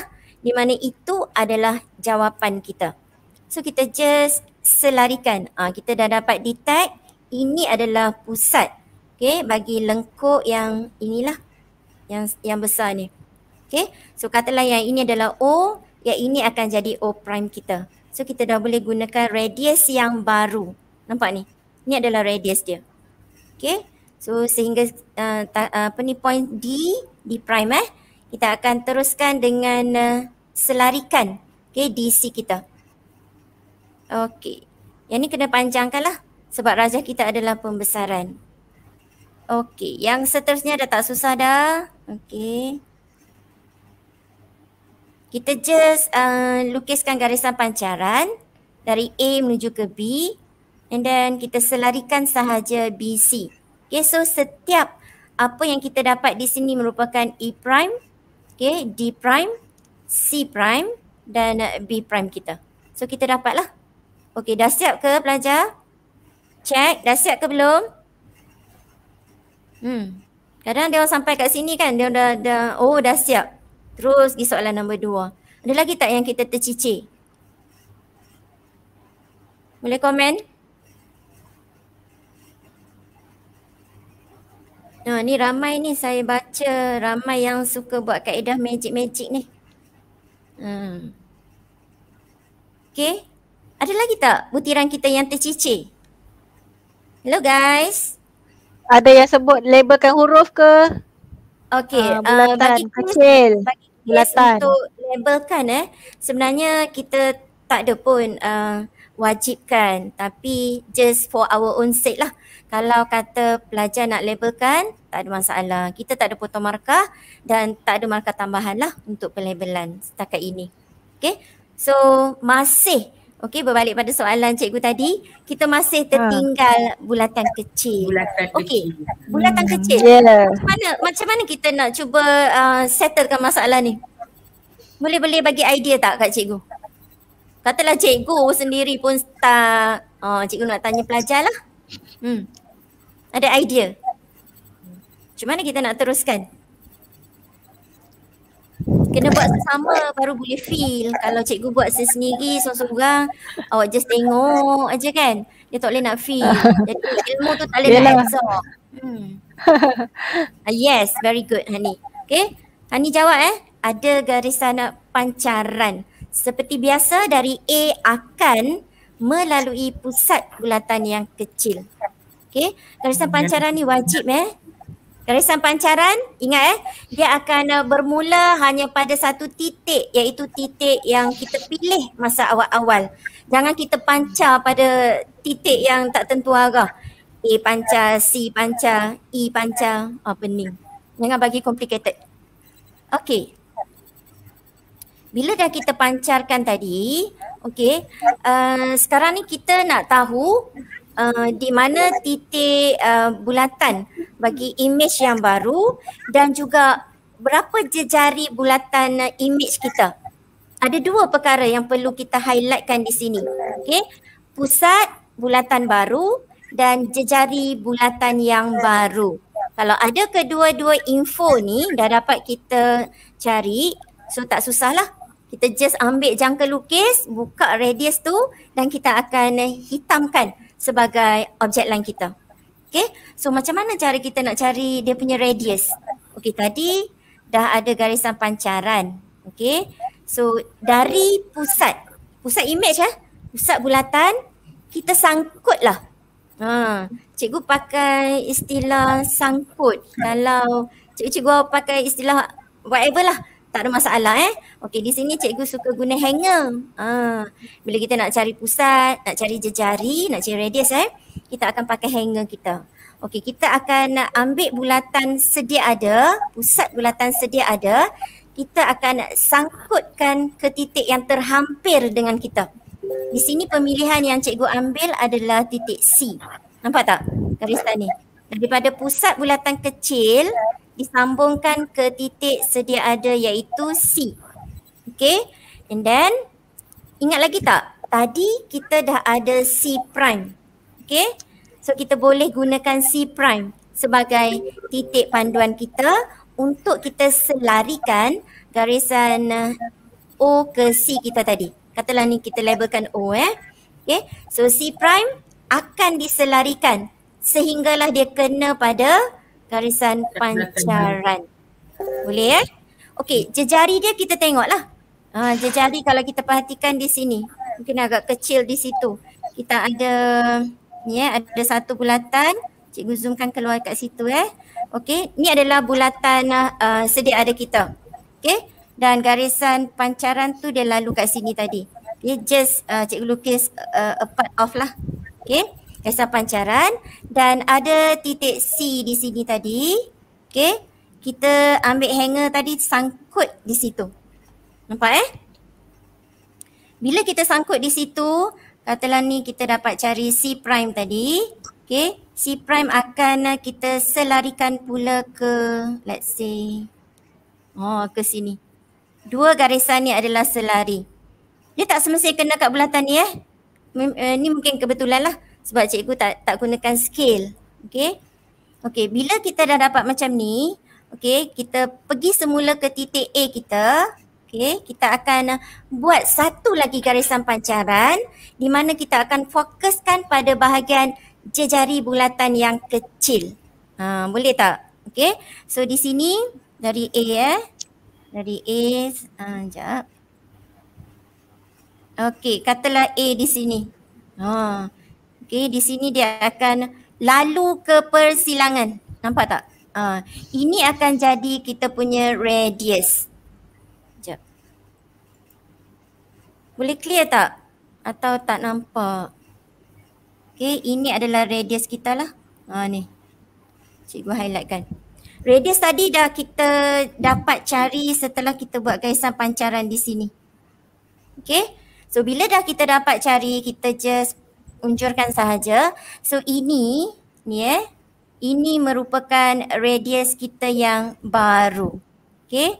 Radius barulah yang kita nak lukis kejap lagi. Kita akan gunakan radius yang itu.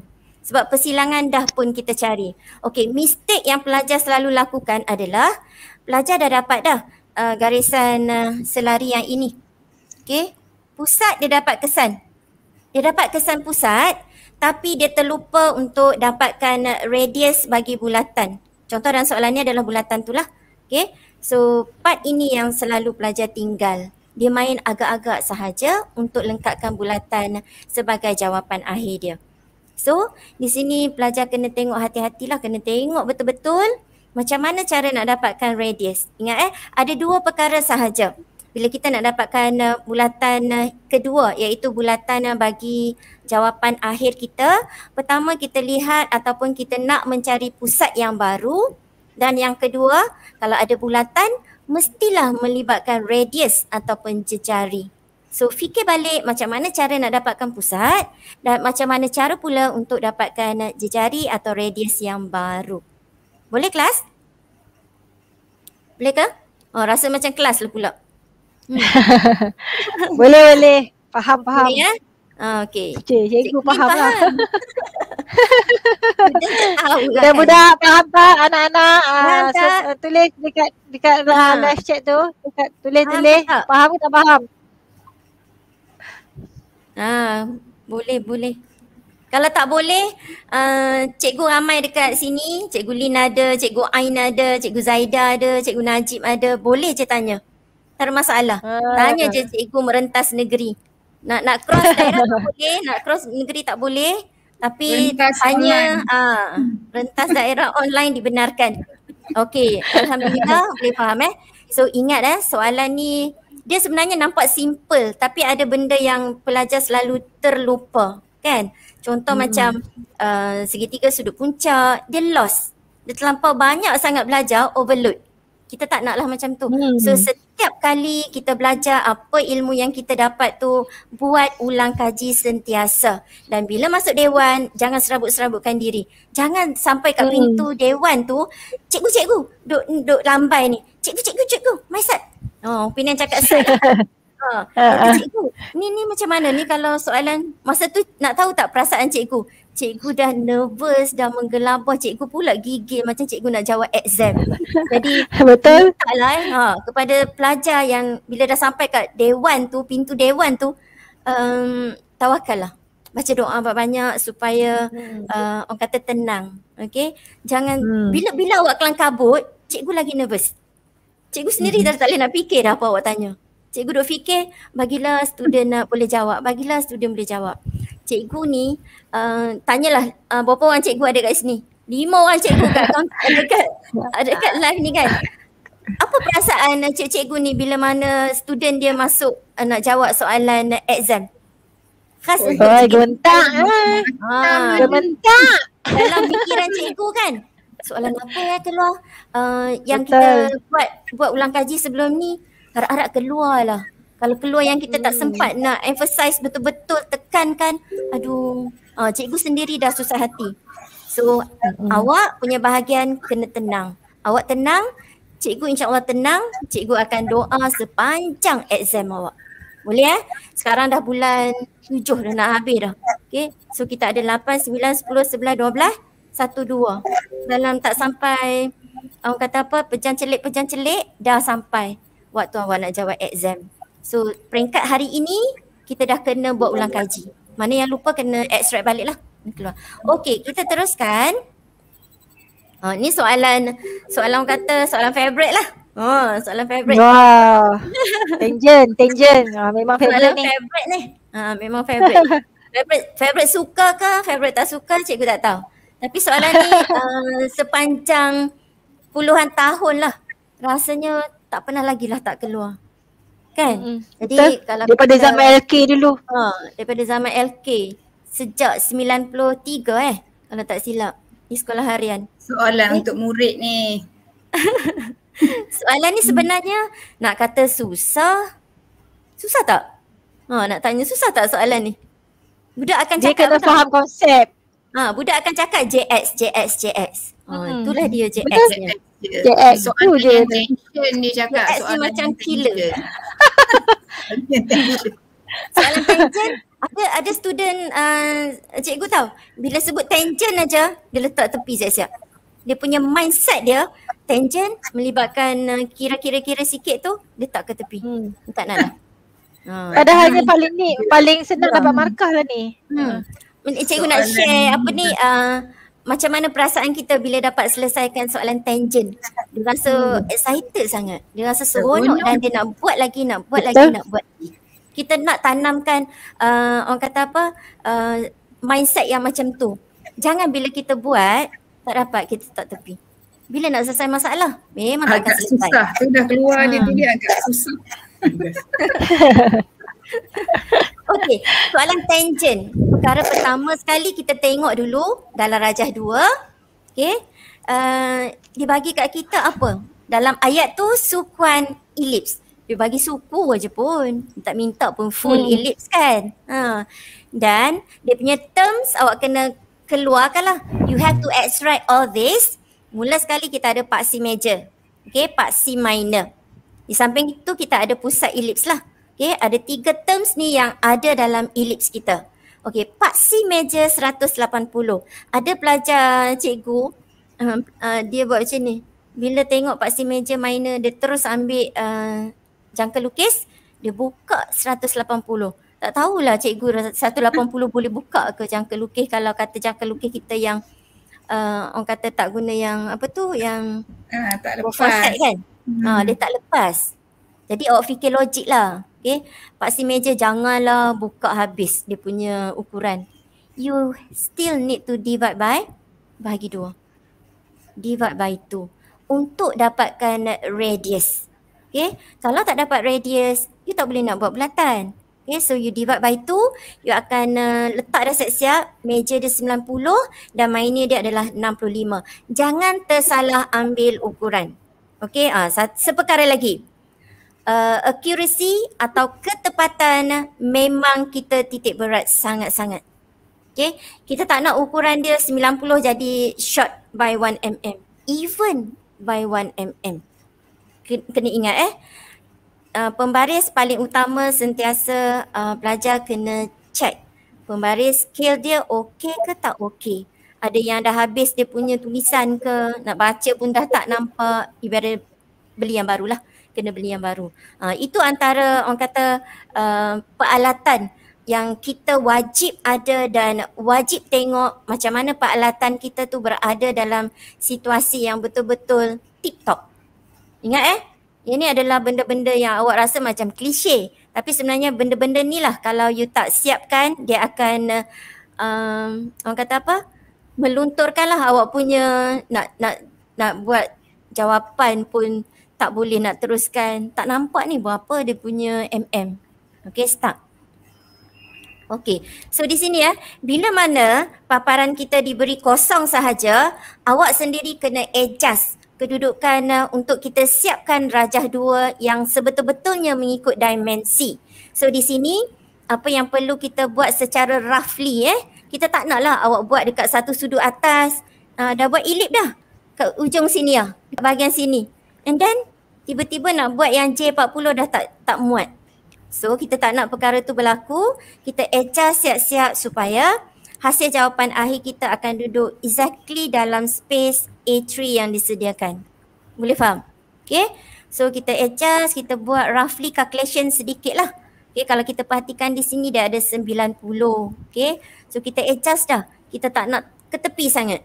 Okay, kita dah boleh adjust kita punya kertas lukisan bahagian kanan. Okay, ha, contoh ni kanan lah eh. Okay, so kita bawakan 90 ke belah kiri. Kita nak adjust ni supaya drawing kita tak terkeluar dari kertas A3 yang di provide pada awak. Okay, so 90 dah boleh adjust. Dari segi uh, atas bawah pula. Okay, so kita tengok pula apa yang diberi, apa info yang kita ada. Sini ada 75. Dekat sini bulatan 25. 75 tambah 25 dah 100. So daripada orang kata uh, border bawah tu, you agak-agak lah nak pergi ke garisan ataupun titik yang ini, jarak dia mestilah awak dah uh, orang kata apa adjustkan dia lah walaupun tak exactly berapa dia punya dimension tapi dah boleh anggarkan supaya drawing kita duduk just nice dalam space yang disediakan. Boleh ya? Itu adalah perkara-perkara penting lah sebelum kita nak start melukis. Okay, so pemilihan titik dia akan bermula starting with ni eh, sukuan ellipse. Awak jangan start DJX eh. Ha. Kalau you start DJX, rasanya sampai habis PKP tak selesai you punya tangent. tak boleh awak bermula pada titik yang awak rasa boleh teruskan Okey, jangan oh, macam mana nak selesai JX ni. Oh, start kat situ. Ah, terus tinggal kan? Terus tinggal ha, je. Hmm. Sebab PKP lama, cikgu risau kot ni. Tak buat latihan. Okey, ini adalah langkah pembinaan ellipse lah. Okey, tadi jejari kita dah siapkan. Okey, sekejap eh. Okey, semula. Okey, garisan horizontal. Okey, ni eh. Okey. Bila kita perhatikan di sini, A dan G. Laju. Okey, sekejap. A dan G adalah kita punya titik-titik utama kita lah dalam elips kita. So, kita tandakan terlebih dulu. Okey bila kita ada dua bulatan, okay, kita buat suku bulatan tadi tu, kita siap-siap dah tanda di titik A dan titik G. Ha, titik yang paling uh, ekstrim dia lah, kita tanda terlebih dulu. Sebab kita tak nak nanti pelajar dia uh, tersilap pemilihan titik uh, ekstrim tu. Okay, so kita tandakan dulu A dan G mengikut paksi yang betul lah. Nah, di sini awak dah boleh nampak kan? Nah, yang mana satu adalah major, yang mana satu adalah minor. Okay. So, bila awak dah selesai tandakan dua titik ekstrim A dan G, barulah kita pergi pada penandaan titik-titik antara. Okay. Pemilihan macam biasalah kita akan bahagikan kepada ya, tiga bahagian kat sini. So, membolehkan kita untuk dapatkan dua titik antara. Uh, kadang-kadang uh, pelajar dia confused tau. Uh, hala ke mana? uh, garisan uh, segitiga tepat di sini. Oh tak payah pening-pening. Okay. Bila dah kita adakan guide di sana A dan G, kita punya kaedah untuk buat segitiga sudut tepat dia tak akan ter- tersilap lagi lah. Apa maksud cikgu tersilap tu? Ha, sekejap. Okay, contohlah eh. Katalah uh, kita pergi buat sebelah sini. Nampak? Okay, sebelah sini, sebelah sini line uh, cikgu yang highlight color merah tu. Boleh nampak tak? Katalah pelajar dia tersilap. Okay, dia pergi lukis yang macam tu. Uh, and then, dibuatnya pula dia terlupa nak tandakan uh, titik ekstrim A dan G. Nampak tak apa akan jadi? Nampak tak kesalahan yang uh, akan berlaku di sini? Pelajar dia tak perasan. Dia kalut-kalut. Uh, kelang kabut bila masuk dewan. Boleh nampak eh? Kesalahan ni yang kita tak nak lah. That's why uh, nasihat yang pertama adalah tandakan titik ekstrim A dan G. Okay. Bila dah tandakan kita dah tahu dah border nak lukis ellipse kita di mana. Kita tak nak uh, pelajar tersasar. Okay. Dia boleh jadi ni. Dia punya ellipse akan jadi um, apa ni salah dia punya orientasi dia. Nampak eh? Bila bila dia buat yang line yang color merah di sini, dia akan terus buat macam ni je. Okey, dapat juga elips. Tapi apa masalah dia? Tak menjawab seperti mana dalam soalan rajah dua. Jadi dia akan kehilangan banyak markah jugalah di situ.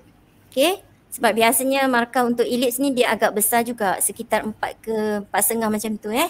So pada cikgu markah yang besar lah. Okay. So kita nak elakkan dari pelajar menjawab elips dalam kedudukan yang salah. So tolonglah tandakan titik ekstrim A dan G pada soalan ni. Okay kita teruskan. Okay yang kalau biru tu adalah jawapan betul lah. Eh, boleh eh? Boleh tak? Okay, ada komen tak?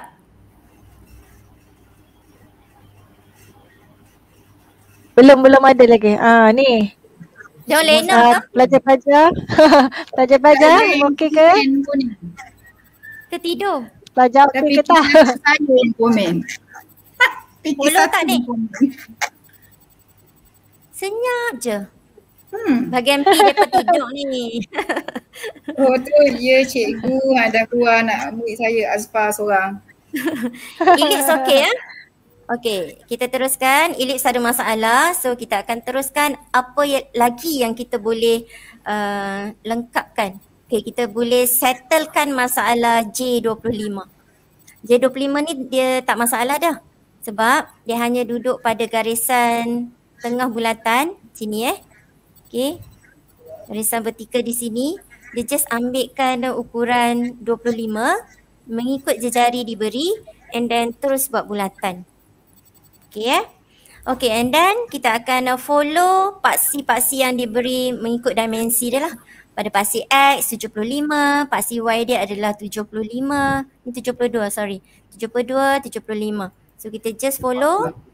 Okay. Okey, pelajar sebenarnya tak perlu dimensi eh.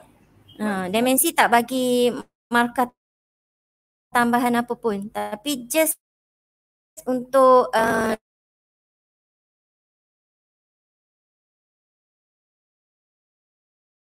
rujukan pelajar tak jadi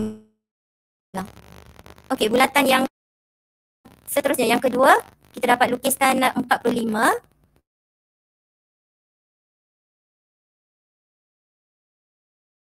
Okay.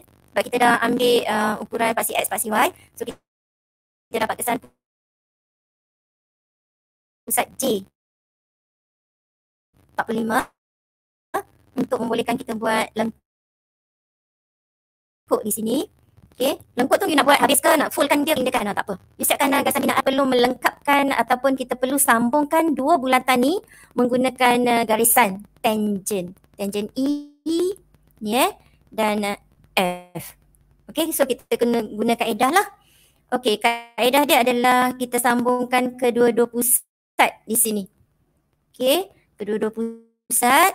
And then kita bahagi dua, dapatkan semicircle.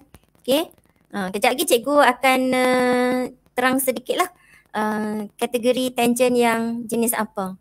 Okay, sebab kita ada tangent uh, menyentuh secara dalam, menyentuh secara luar. Betul tak? Ke dah lupa? Tangent ada dua kan? Dia menyentuh secara macam ni. Ha. Ataupun dia menyentuh secara luar. Dalam dan uh, luar lah. Okay, kalau kita perhatikan di sini, tangent ini menyentuh secara, apakah jawapan dia? Boleh komen dekat ruangan chat? Ha, kita kita refresh balik. Okay, tangent apakah E dan F tu? Hmm ada dua bulatan, ada satu garisan tangent EF. So tangent ni merujuk pada tangent apa? Menyentuh secara luar, luar ke dalam? Ha. Jadi komen. Okay pelajar komen, komen apa dia tangent tu. Ha. Ingat balik form 4. Ha, form 4 pun boleh jawab ni tangent. Menyentuh Apakah secara nama apa tu? Ada yang tulis uh, secara dalam. Okay, good. Okay, maksudnya awak faham lah. Okay, dia menyentuh secara dalam. So, secara dalam, apa formula kita nak pakai? Dia ada formula kan? Ada formula sikit. Sekejap lagi kita akan explain lah. Boleh eh? Okay, kita teruskan. Okay, apa yang boleh kita buat di sini adalah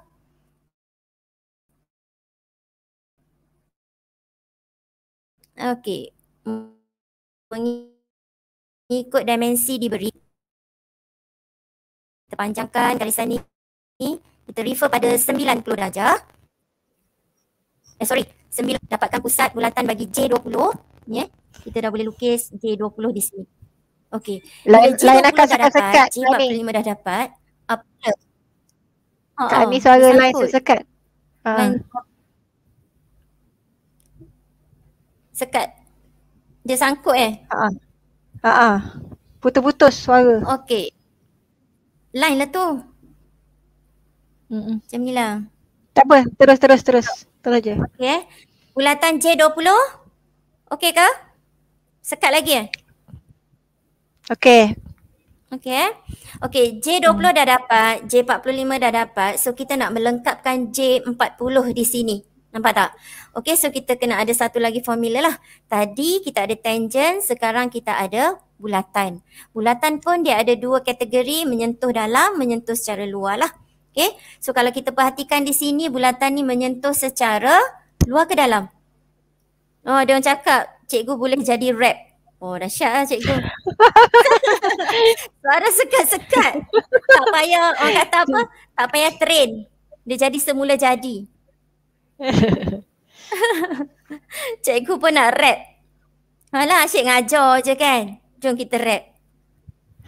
Okay, menyentuh secara luar atau dalam? Nak tengok jawapan uh, pelajar untuk bulatan yang uh, J20, J45 dan uh, J40. 20, 45, 40. Apa jawapan dia? Bulatan menyentuh secara dalam atau luar? Any comment? Kau hidup nanti dia ni lena, dia tidur. Betul, kena tanya dia orang hmm. ni. Tahu tak tahu tu? hmm. konsep tu kena faham kan konsep. Ada yang jawab. Okey bagus. Okey. Ha, dia ni bagus. Tanya eh. Okey bulatan ni for sure lah. Dia menyentuh secara luas. Kejap lagi uh, dia punya orang kata apa? Tambah tolak tu cikgu akan explain uh, kemudian lah. Okey. So kita dah dah tahu dah. Okey. Dia menyentuh secara luar. So kita akan recall lah apa kaedah yang nak kita lengkapkan di sini. Okey. Okay, so seperti biasa. Okay, kita akan dapatkan dia punya lengkung. Ni cikgu tak explain tau, kejap lagi. Okay. Ha, kita tengok dulu. Okay. Dari uh, daripada pusat sini dia ada radius dia. Daripada pusat sini pun ada radius dia juga. Okay. So kalau dia menyentuh secara luar, kalau kita tengok secara logiknya lah kan. For sure dia kena top up. Tahu tak apa dia top up? tambahlah kan. Ha. Radius ni tambah dengan radius ni. Maksudnya 45 tambah dengan uh, 40 lah. Ni common sense. Okay next. Ini cikgu tak tak jelaskan. Kejap lagi. Sabar sabar. Okay. Uh, dah sampai pada part-part yang ditunggu. Kita ada JX. Hmm. Okay apa kaedah JX yang kita nak? Yang yang boleh kita apply di sini? Kita ada titik uh, A tu adalah titik luar sebenarnya dia bukan titik tangent. Okay. So apa kaedah yang kita boleh apply di sini? Hmm, kaedah apa? Kita ada satu titik, titik luar kan? Ini bukan titik tangent eh. Kalau you nak tahu dia titik uh, tangent ke bukan titik tangent ke, awak boleh tengok balik pada soalan di dalam soalan dia highlightkan kat kita. Titik B, C, D, E dan F ialah titik tangent. Dia tak highlight pun A sebagai titik tangent. Ada sebab lah. Okay. Okay. So bila kita ada satu titik luar dan uh, B titik yang perlu kita cari. Kita um, tak boleh nak dapatkan titik B secara direct di sini. Okay, melainkan kita dah selesaikan beberapa part lah, beberapa, beberapa kaedah. Okay, so apa yang kita ada di sini adalah kita tengok eh langkah dia. Okay. Okay. Actually kita akan bina kat sini garisan uh, sukuan lah dekat titik A. Okay. So yang ini kita gunakan kaedah empat langkah lah. Sebab kalau dia dia ikut cikgu, dia ada macam-macam kaedah, macam-macam nama tapi masih menuju hmm. pada jawapan akhir yang sama. Okay. Kalau ada yang sebut zigzag. Ada, ha, ada yang, yang sebut puncak dasar. Ha, ada, ada yang, yang sebut apa lagi? Kaedah mata angin. Kan? Pernah dengar ha. kan? Kak Zaidah pakai apa? Macam-macam. Kain sebut sebab apa? tu. Ha. Tak sebut tu nama kaedah apa? Kaedah? Kaedah N. Kalau saya pakai kaedah apa? N. Oh, Cikgu Najib, apa istilah Cikgu Najib guna? ni orang orang otak-otak ni mesti ada ilmu banyak ni Cikgu Najib ni. Mute, mute, mute. okay. Uh, ada tak dengar, tak dengar Najib. Ha. Ha, zigzag. So whatever hmm. nama yang kita dapat dari cikgu-cikgu kita, tak kisah eh. Sebab dia tak tanya kaedah apa, nama kaedah apa dia tak tanya dalam soalan. Cuma cara, uh, cara ataupun langkah pembinaan sahaja. So zigzag ke, arizag ke, kaedah rama-rama ke, mata angin ke, whatever things. Saya saya puncak dasar. Ah, puncak. Puncak apa? Puncak dasar. Oh, puncak dasar. Okey. Tak kisah eh.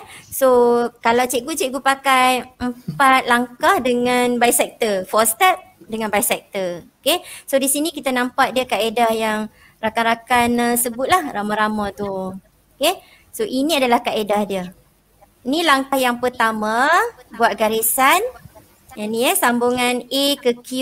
Sedia ada dah kan? Dah ada tak apalah. So kita andaikan yang ini adalah garisan kita yang pertama. Nombor satu. Okay. Dan garisan ini merupakan garisan yang ke ni eh, yang kedua. Okay. Dan yang menghubungkan titik Y okay, ke titik A kita itu merupakan langkah yang ketiga. Nampak? Okay. Bila ada persilangan okay, bulatan uh, bulatan J20 kita dengan langkah yang ketiga nampak eh boleh nampak di situ eh. Ada satu bulatan J20 dan langkah ketiga kita di sini. Cikgu highlightkan sedikit sini. Okey, ada persilangan dengan bulatan. Ha, okey contohlah. Ni ada satu bulatan, ada pusat. Okey, ni ada garisan kita yang selari dengan garisan nombor dua tadi kat bawah. Katalah di situ. For example. Okey, this is our first step, second step. Okey bahagian hujung ni sambung ke titik luar tadi will be our third step. Okay. Boleh nampak eh? Okay. Bulatan J20 dengan langkah ketiga kita ada persilangan di sana. Nampak tak? Okay. Dari situ kita akan cuba habiskan kita punya kaedah uh, mata angin ke apa tadi kan. Uh, rama-rama atau apa sajalah. Okay. Di mana langkah terakhir kita adalah pergi pada pusat bulatan, pusat bulatan tu dia akan melalui persilangan langkah tiga dengan bulatan J20. Okay, so di sini. Ha, dia akan lalu ke sini. Yang ini adalah langkah kita yang keempat. So bila dah sampai ke sini dia akan bersilang dengan garisan nombor satu. So yang ini, ini eh, akan jadi pusat bagi JX kita. Okay, so akan jadi center JX. Okay. So tak kisah nama apa tapi kaedah inilah yang kita implement. Uh, cikgu tak nak ajar yang apa kaedah-kaedah lain lah. Okay. Tapi kadang pelajar kita dia orang kata apa? Uh, very creative. Dia boleh terfikir kaedah yang cikgu sendiri nak kena uh, berfikir boleh terima ke tak boleh terima. Okay. So why not kita just follow apa yang diberi dalam buku teks lah. Jangan susah-susahkan diri create another formula, uh, another langkah. Cikgu sendiri nak nak semak pun terpaksa kaji balik. Ha, mungkin betul. Kadang-kadang student kita memang kreatif. Ha, bukan nak katalah. Okay. So tak payah nak susah-susah lah. Kita just follow apa yang diberi. Boleh ya? JX. Ada masalah lagi tak dengan JX? Harap-harap tak ada Boleh lah. fahamkan anak ni. Faham hmm. tak lah anak JX. Selalu JX lah yang dia orang paling ni kan. Ha, paling tak suka. Ha. Sebab kadang-kadang dalam pemarkahan kita duk marking exam uh, untuk peperiksaan akhir ke tahu apa ni peperiksaan pertengahan ke kita biasanya akan check langkah kerja. Okay. Langkah satu, hmm. langkah dua, langkah tiga ataupun kita uh, budak tak lukis satu, dua, tiga tak dapat. Contohlah, eh. ini, ini example lah. Jadi why not kita uh, lukiskan se- ke semua langkah-langkah tersebut. Jangan skip. Ini nasihat cikgu lah. Jangan skip. Walaupun you kata uh, tak payah dah, saya dah tahu dah. Langkah dua tak nak buat. Janganlah. Tolong buat. Langkah hmm. dua perlu. Sebab kita nakkan persilangan di hujung sini. Kita kena ada lah. Okay.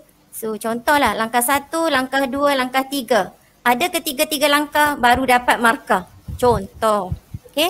Pensel pun kena tujuh uh, kan kak? Pensel. Ya.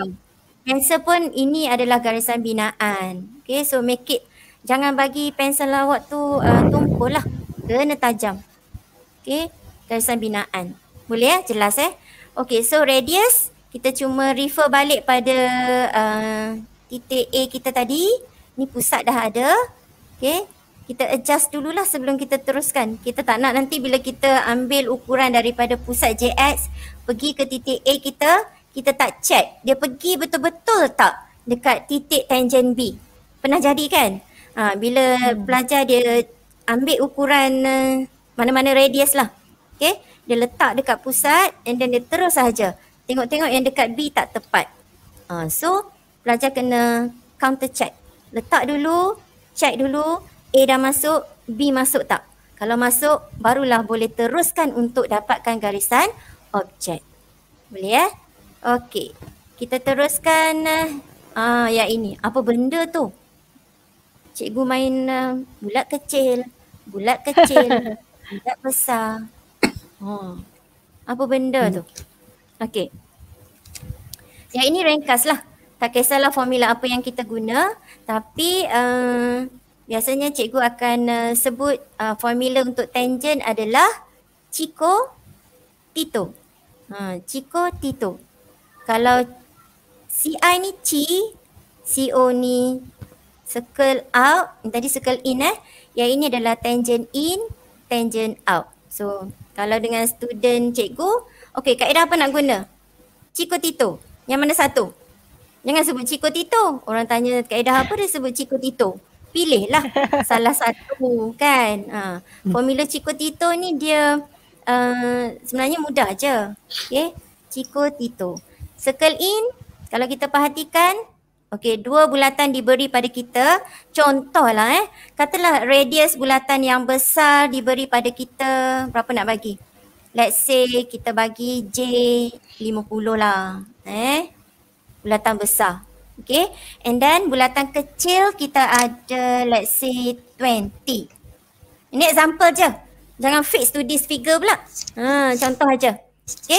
Bulatan besar ada J50 dan bulatan kecil kita uh, kita ada ataupun diberi pada kita adalah J20. So kita pergi pada circle in. Circle in di mana bulatan kita akan uh, berada dalam keadaan macam ni. Nampak tak? Ha, ni in lah. Ha, bulatan Bulatan yang merah tu adalah bulatan yang kita akan lukis. Yang kuning tu diberi pada kita. For example lah eh. Okay so ini adalah circle out. Kadang-kadang dalam tangent awak, dia awak takkan jumpa bulatan lengkap di sini. Dia mungkin bagi just part of. Nampak tak? Sama ada dia bagi uh, kawasan di atas ni sahaja yang mana dia masih menghubungkan dua bulatan 50 dan 20 di sini ataupun uh, bulatan dia di sebelah bawah. Uh, dia depends pada soalan diberi. Um, kalau tak silap cikgu lah belum ada lagi eh bulatan yang lengkap penuh macam ni nak nak combine dengan soalan tangent. Dia akan dia akan padam lah. Okay, dia akan trim erase yang mana dia tak nak, dia akan tinggalkan. Jadi part awak adalah untuk memahamkan circle tu adalah circle in atau circle out. Boleh eh? Okay. So dah faham rajah circle in. Okay. So formula apa yang kita akan gunakan untuk dapatkan radius di sebelah uh, dalam bagi pusat bulatan merah. Formula dia senang je kan? Tambah atau tolak? So agak-agak awak lah. Tambah ke tolak? Hmm. Persoalan dia. Hmm. Tambah ke tolak untuk circle in? Rajah dah kita ada. Cikgu dah tunjukkan. Okey, pusat masing-masing katalah kat sini satu, kat sini satu. Ha. Okey. Apa formula kita nak guna? Tambah atau tolak? Circle in. Tambah tu dia jawab. Ada yang jawab Muhammad. tambah. Okey. Ha, Rizwan kata tolak. Khairul Rizwan. Oh, ada yang tambah, ada yang tolak. So mana satu ni? Cikgu pun dah confused ni. Ha. Julia kata tolak. Oh, tolak. Ah, Dennis tolak. Dini tolak. Okey. Tahniah lah bagi siapa yang jawab tolak. Circle in kena tolak sayang-sayang. Okey. Tolak apa? Ha, tolak siapa? Ha, J50. Okey, awak tengok eh. Bulatan merah ni katalah diberi dalam soalan uh, kita nak lukiskan uh, bulatan ni katalah eh cikgu bagi contoh je. Okey. J uh, berapa nak bagi? Uh, let's say 70 lah. Ha 70. Itu adalah J yang bulatan merah. Okey. So bulatan uh, kuning J50 yang besar. Cikgu ulang eh. J20 bulatan yang kecil. Jadi tadi formula dia adalah tolak. Jadi kita akan ambilkan J70. Kita tolak dengan J50. So berpusatkan di J50 kita akan lukis satu lengkuk. Di mana radius kita adalah berapa? Berapa radius kita? Okay. Okay eh. Formula tadi apa? Tolak kan? Okay. Radius kita kena tolak lah. Ha, yang ini refer balik pada kaedah. Uh, awak tolonglah buat ulang kaji semula. Okay. Okay kita tengok pula pada circle out. Circle out kedudukan dia macam ni. Nampak eh? So formula dia adalah ha, tambah. Sebab daripada pusat ni nak pergi ke pusat ni kita kena tambahkan. Tapi kalau yang di sini kita hanya perlu tolakkan dia. Okey, boleh eh? Okey, yang seterusnya kita pergi pada tangent in pula. Kaedah cikgu tak explain di sini eh. Ha, tengok jam ke berapa dah ni. Okey, yang ini adalah tangent in. Okey, so formula dia adalah tambah dan yang ini adalah tangent out formula dia adalah tolak. Okay. Okay, so ingat satu je. Ingat yang ni cukup lah. Nampak tak? Kita ingatkan circle out, dia tambah. Circle out ni dia senang nak ingat sebab dia boleh uh, nampak secara fizikal. Line tak okey ke? Hmm, bunyi ada bunyi sikit. Bunyi sikit-sikit je, tak apa. On. circle out kan. Okay daripada pusat ni pergi ke sini for sure dia akan ditambahkan J besar tambah dengan J kecil. Okay so dia punya fizikal dah menunjukkan uh, formula apa yang kita nak gunakan lah. Bila kita dah dapat circle out tu tambah kita dah boleh orang kata manipulate yang lain tu. Circle in mesti tolak lah. Okay so circle in tolak tangent out dia uh, dia dia dia opposite. Nampak tak? Dia opposite. Kalau circle out dia tambah, uh, tangent out dia akan tolak. Macam tu je. Jangan ingat ke semua saat lagi pening. Ingat satu, berserta dengan drawing, kita lakarkan bulatan kita. So secara logik hmm. akal, common sense dia kata apa? Oh bulatan uh, bulatan ni eh, pusat bulatan ni nak pergi ke bulatan yang dikehendaki tu, perjalanan dia macam mana? Uh, so for sure, kena topak lah, kena tambah. Jadi bila kita faham dia punya lakaran secara fizikal bagi circle out, kita dah boleh implementkan yang lagi tiga di sana. Tak payah hafal ke semua. Nampak tak? Pasti yang kukuhnya kita kena perkukuhkan kita punya circle out dulu. Jangan salah formula untuk circle out pula. Kalau dah salah, yang tiga lagi habislah.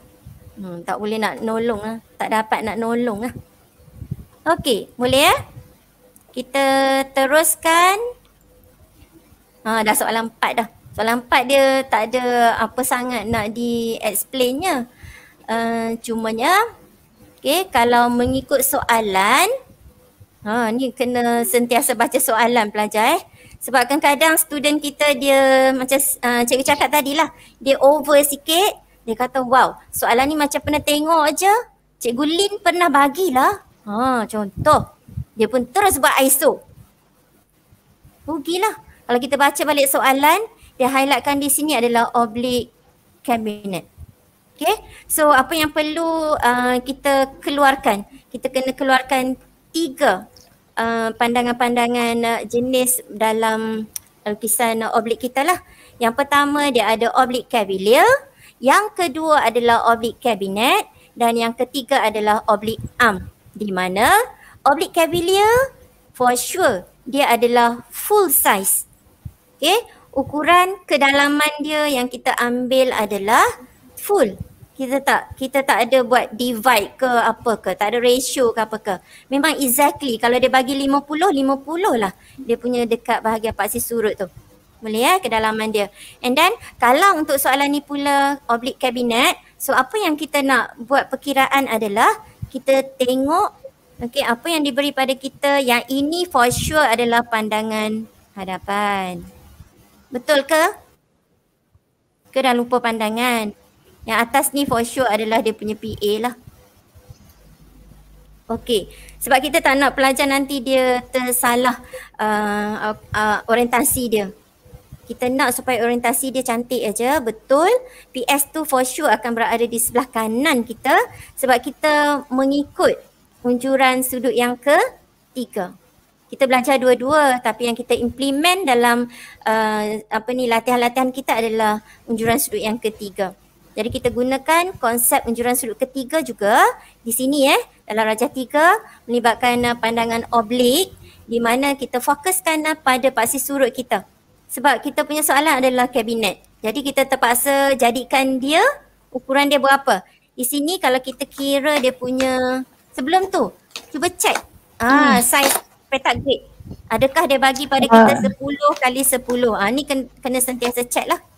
Mana tahu kan? Hmm. Oh, kukut lah kan. Kak ni, uh, ya. Kak ni. Hmm. Uh, kita kena apa uh, habiskan sebelum pukul 2 ni. Uh, sebab budak-budak uh, ni ada sempat. lagi program. Hmm. Sempat sempat. Uh, uh. Sekarang 1.26. Ni dah habis dah. okay. Teruskan. Okay, okay. so di sini fokus, oblique, kabinet. So kita kira kat sini berapa petak yang ada 1, 2, 3, 4, 5, 6, 7, 8, 9, 10, 11, 12. Okay, kalau 12 dia akan jadi 120 mm. Tapi dalam menjawab soalan uh, rajah 3 di sini, kita kena buat dia jadi separuh lah. Sebab dia adalah separuh D. Kalau oblik uh, arm dia adalah 3 per 4. Ni student tahulah. Okay, so ini adalah dia punya jawapan akhir cikgu cuma highlightkan uh, jenis-jenis oblik sahaja. Yang selebih tu adalah part pelajar untuk siapkan. Okey. Ni kalau nak ngajar dia ambil masa lah kan. So kita tunjukkan dia punya term-term sahaja. Okey. Macam ada gangguan. Okey. So, apa yang kita highlightkan di sini adalah bulatan kita bagi dia duduk betul-betul di hadapan kita iaitu berserenjang dengan mata kita sebab kita tak nak supaya bulatan tu berada dalam keadaan elips. Okay, dia apa ni uh, tak menggunakan uh, jangka lukis ataupun dia tak guna pusat lah. Dia lebih complicated. So kita cuba elakkan. Kecuali lah ada bulatan pada bahagian uh, pandangan sisi di sini. Okay, so ini pandangan uh, hadapan kita which is perpendicular, berserenjang. Boleh ya? Okay, the last part is, okay, ni yang terakhir. Uh, ada satu lagi kot. Okay, yang ini adalah, kita tengok ini ya. Yang ini adalah lukisan uh, elektrik.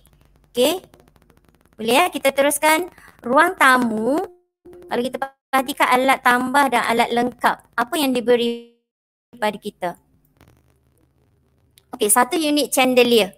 Okay, so kita allocate-kan chandelier kita uh, yang sesuai berada di tengah-tengah uh, ruang tersebut lah.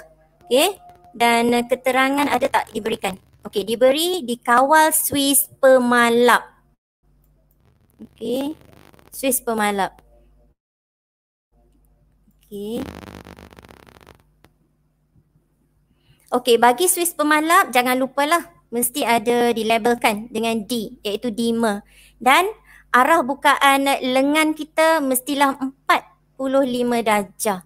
tak payahlah student pergi sukat pula kan. Bila dia buat satu tu dia dah boleh orang kata anggarkan lah. Okay 45 darjah. Dan sentiasa hala ke sebelah kanan. Ini dinding kita. Macam mana kita nak nak uh, tentukan kanan atau kiri lengan tu. Kita sentiasa berdiri mengikut dinding. Kita berada di sebelah hadapan. Kita keluarkan tangan kanan kita. So tengok. Tangan kanan tu mana arah dia. Itulah yang akan kita lukiskan uh, pada simbol. Boleh eh? Okey, yang uh, seterusnya pada ruang uh, tamu kita ada satu unit soket telefon. Dialokatkan uh, di sini. Okey, so ini adalah simbol bagi soket telefon. Okey, loceng elektrik. Ha, yang macam cendawan tu. Dan uh, seperkara yang cikgu nak ingatkan, nak highlightkan adalah bila kita melukis simbol-simbol ni eh, ni yang cikgu bulatkan untuk yang ini, yang ini pastikan uh, dia punya apa ni orang kata bahagian uh, objek tersebut dia tak dilukis melekat terus pada dinding. Nampak tak? At least dia kena ada gap. Contoh. Kita ada dinding. Okay. Katakanlah kita nak melukis Swiss. Jangan lukis betul-betul di atas uh, macam tu. Jangan bagi dia melekat. At least ada gap sedikit. Nampak tak? Boleh eh? Dalam satu mm macam tu. Ha, boleh lah. Satu ke dua mm. Okey, ruang keluarga pula. Kalau kita tengok, ada dua unit downlight. Okay. So, kita lukiskan simbol. Pelajar boleh refer buku teks eh. Okay, and then dikawal. Keterangan kena sentiasa baca lah. Sebab diberitahu di, di sini adalah dikawal satu Swiss. Biasanya kalau dia tak bagi info, dia tinggalkan kosong. Dua unit ni akan ada uh, satu unit secara berasingan Swiss dia. Nampak tak? Tapi disebabkan dalam keterangan dia ada highlightkan sebagai kawal oleh satu Swiss maka dia kena gunakan satu Swiss tapi menghubungkan kedua-dua alat tambah alat lengkap ni lah. Nampak? Okey eh? Okey. Seterusnya ruang uh, ruang keluarga juga kita ada satu unit kipas siling. Okey, kipas siling. Boleh eh? Boleh nampak kipas siling? Ingat dalam kipas siling mesti ada alat atur dan Swiss di sebelah dia. Alat atur dan Swiss kita tak ada buat penyambungan ataupun wiring. Nampak eh? Okey, mesti ada dan tolonglah jangan uh, buat sebarang garisan yang connect antara alat atur dengan Swiss. Dia tak ada connection. Dia just a pair of. Okay, satu set regulator kan alat atur dengan switch di sebelah dia dan dia masam ke arah dinding. Okay, dia punya curve dia tu eh. Okay, bilik tidur utama kita ada satu unit penya, penyaman udara. Yang ini pun tolong ikut uh, cara macam mana buku teks tu di uh, dia punya simbol. A kat atas, C dekat bawah. Okay, uh, macam tu. Jangan terkalih pula jangan buat C kat atas terbalik ke eh, um, kalau, kalau boleh lah cikgu nasihatkan exactly follow lah dalam buku teks dia punya simbol-simbol. Okay dan kita ada satu unit lampu dinding berkembar ni. Okay. Okay. Okay. Kita ada switch untuk yang inilah. Ha, untuk lampu dinding berkembar. Sama juga ah dia punya lengan hala ke kanan. Okey, bilik air kita ada satu unit lampu globe. Ha, switch dia nak letak kat mana? Okey, kalau bilik air for sure lah. Dia akan sentiasa berada di sebelah luar kecuali switch dia adalah jenis switch tarik. Kalau switch tarik, kita boleh allocatekan dalam bilik air. Okey, and then beranda kita ada lampu benda. Okey, keterangan kita tengok apa diberi. Dikawal switch dua hala, satu beranda, satu bilik tidur utama. So kita letakkan kat sini kat beranda satu dan di sini satu. Boleh eh? Okey, Swiss dan Swiss ada wiring dia. Nampak? Ada pendawaian yang kena awak sambungkan. Tak sama dengan alat atur dan Swiss untuk kipas siling tadi. Jangan confuse eh. Okey, and then jangan lupa untuk labelkan angka dua. Ha, macam mana cara nak label? Ha, cuba tengok. Boleh nampak tak? Angka dua kita letakkan uh, orang kata selari dengan lengan. Okay. Dua. Tulis elok-elok. Uh, dua ni macam ni. Boleh tak? Jelas tak yang itu? Angka dua. Contoh kalau lengan dia macam ni, kita uh, letak dua macam tu. Ikut dinding dia. Okay, yang satu lagi pun alih ikut dinding dia, kita tulis dua ikut arah lengan Swiss kita. Boleh faham tak? Boleh eh? Boleh kot? Dengan Boleh melintang. Tak? Dengan dia punya yeah. lengan tu melintang bagi tahu. Kan? Ya. Uh-uh. Ha ni. Ha, dia mesti melintang. Ha. Ha, ha melintang memang ikut arah lengan betul-betul. Hmm. Okay, jangan salah tulis lah. Sebab kita pun tak uh, tak nak lah ada pelajar yang tulis ikut suka kan. Okay dan satu lagi untuk letteric ni pelajar kena check setiap uh, simbol bukan semua yang ada sambungan ke Swiss. Nampak tak? Contoh macam telefon. Uh, student kata rumah saya ada kabel, ada sambung semua. Di sini tak ada ditunjukkan so tak perlu Swiss at- ataupun yang lain-lain lah. Apa yang ada kita just follow. Nampak eh? Aircon pun tak ada. Uh, ni uh, student kena check balik lah. Okay last kali yang ni simple je eh. Oh simple je. Okay.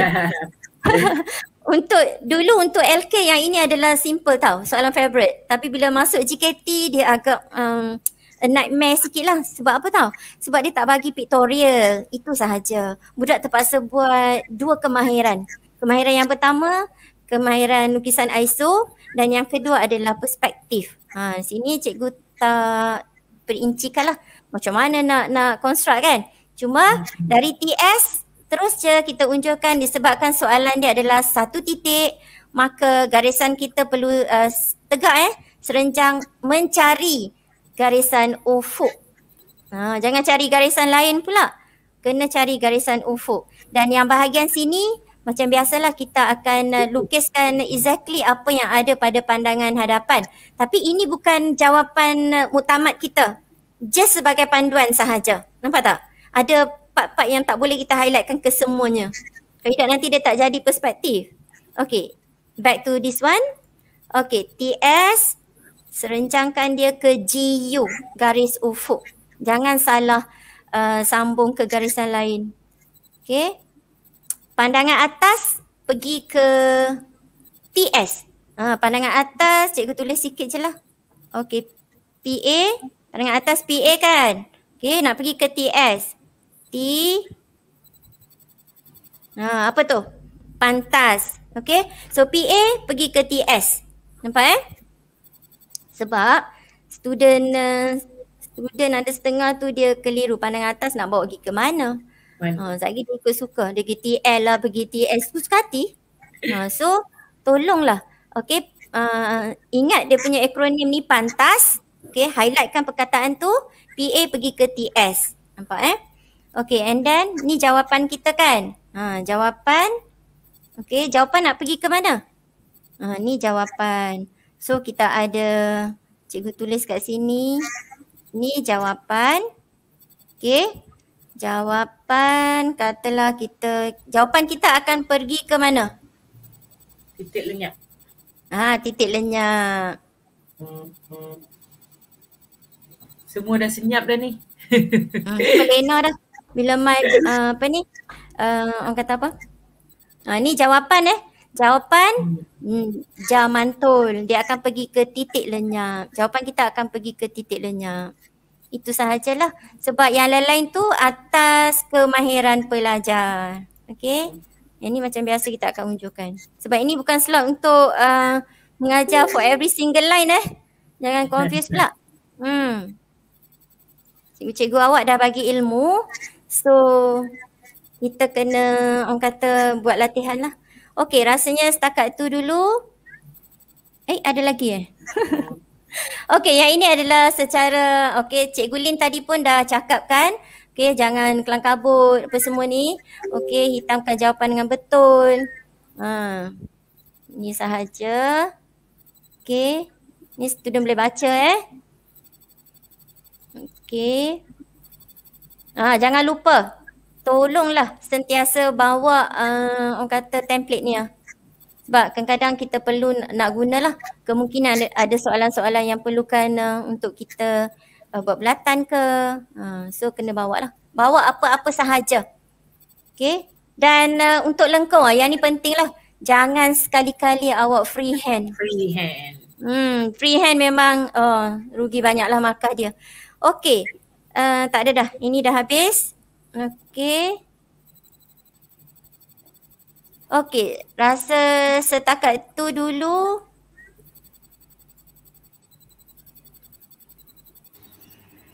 Okey. Okey. Saya stop setakat tu dulu. Hmm, dah lama pun kita 2 jam 35 minit. Okey, link ke hariran eh, link ke hariran saya masukkan ha. uh, dalam ruangan chat. Okay, uh, sila isi link kehadiran anda dan anda akan dapat ECJ eh betul cikgu uh, Ain eh ECJ ah, ya, daripada uh, JPNS. Uh, siapa yang join hari ni untung uh, dapat CJ daripada jabatan. Uh, so kamu boleh masuk dalam PAJSK. Okay, cikgu Najib teruskan untuk penutup.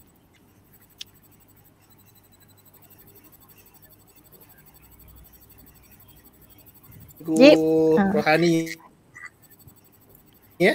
Selaku sangkut sangkut. Ya? Hmm, sangkut sangkut sangkut. pula Najib punya.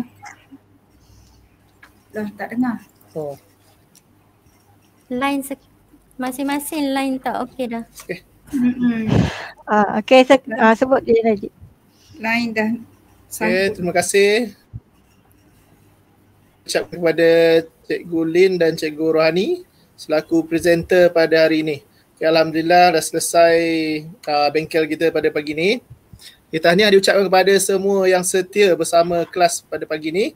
Okay, dari awal hingga saat ini. Okay, anda um, Allah akan dihadiahkan sijil eh kerana telah uh, uh, apa menyertai program ini pada mula hingga ke akhirnya. Okey, sebelum kita tamatkan program ini pada hari ini, silakan tetapkan kita untuk berikan sepatah dua, dua kata Cikgu Lin ya. Nah, siapa dulu nak bagi? Saya ke? tak, tak dengar Najib cakap apa. Tak dengar. Okay, uh, oh, tak dengar. Terima kasih semua uh, semua yeah. sekali yang, oh, yang sudi stay tune. Terima kasih daripada pagi sampai sekarang uh, kamu masih stay tune bersama kami.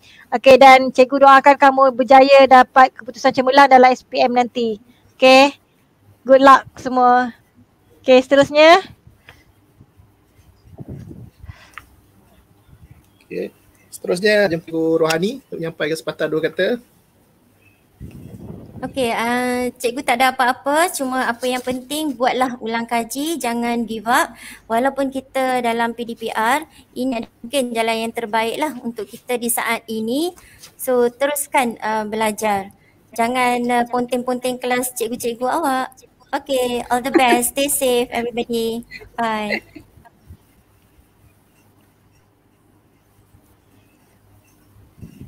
Okay, seterusnya uh, Cikgu Zan. Siapa dia sebut? Cikgu Zaidah ke? Okey, Assalamualaikum dan selamat sejahtera. Terima kasih dan tahniah kepada anak-anak yang masih ada dan terima kasih banyak-banyak kepada presenter kita yang cukup hebat ala hari ini. Okey, walaupun lama harapnya dapat ilmu yang banyak untuk anak-anak kita. Jadi yang penting belajar-belajar jangan sesekali putus asa walaupun anda pernah gagal, tidak akan gagal selama-lamanya tidak ada yang mustahil untuk awak dapat A eh. Kalau awak ikut cikgu, cik, dengar cakap ibu bapa, insyaAllah A dalam tangan anda eh. Jadi pastikan jangan berputus asa, teruskan usaha dan jaga SOP.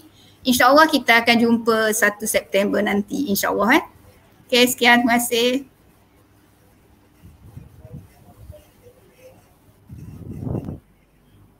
Okay, seterusnya kenapa Najib punya tu tak terus cik tak dengar.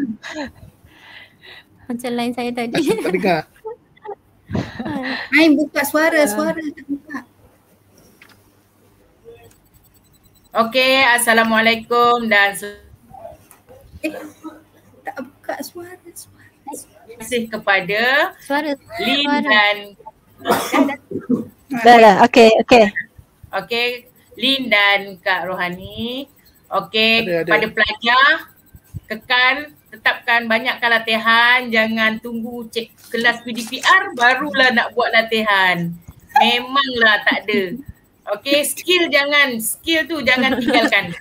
Okey, tu je yang saya nak, nak ingatkan pada pelajar dan jika kita dapatlah naik 1 September nanti, kita nak ulun pula kerja khusus. Okey, itu saja. Sekian. Terima kasih. Okey. Terima kasih semua. Okey, sebutkan sesi siaran langsung hari ni. Eh, boleh dengar? Belum Boleh, boleh. Boleh, boleh. Ha. Boleh, boleh, sesi boleh. siaran langsung hari ni. Uh, chat. Okey, tutup ruangan chat dan klik hutang subscribe eh. Uh, dan aktifkan loceng. Uh, itu yang paling penting. Okey, kalau kamu mahukan konten-konten yang lebih menarik, hari ni tak cukup kan? Ah, okey. Jadi jangan lupa tekan subscribe dan loceng. Itu yang penting. Okey.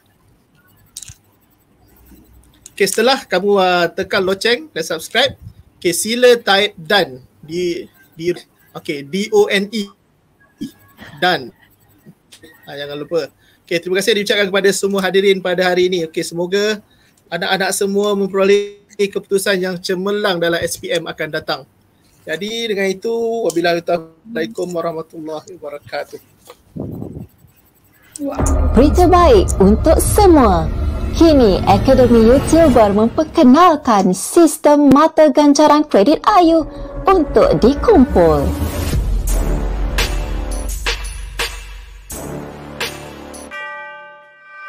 Jom ikuti kelas tuition live Ayu untuk mengumpul kredit Ayu dan berpeluang menebus hadiah-hadiah yang menarik. Hadiah bernilai lebih RM10,000 disediakan secara percuma untuk pelajar seluruh Malaysia. Apa tunggu lagi? Tebus ganjaran hebat ini sekarang. Layari www.academyyoutuber.com untuk maklumat lanjut. Di bawah di bawah dibawakan kepada anda oleh Academy YouTuber.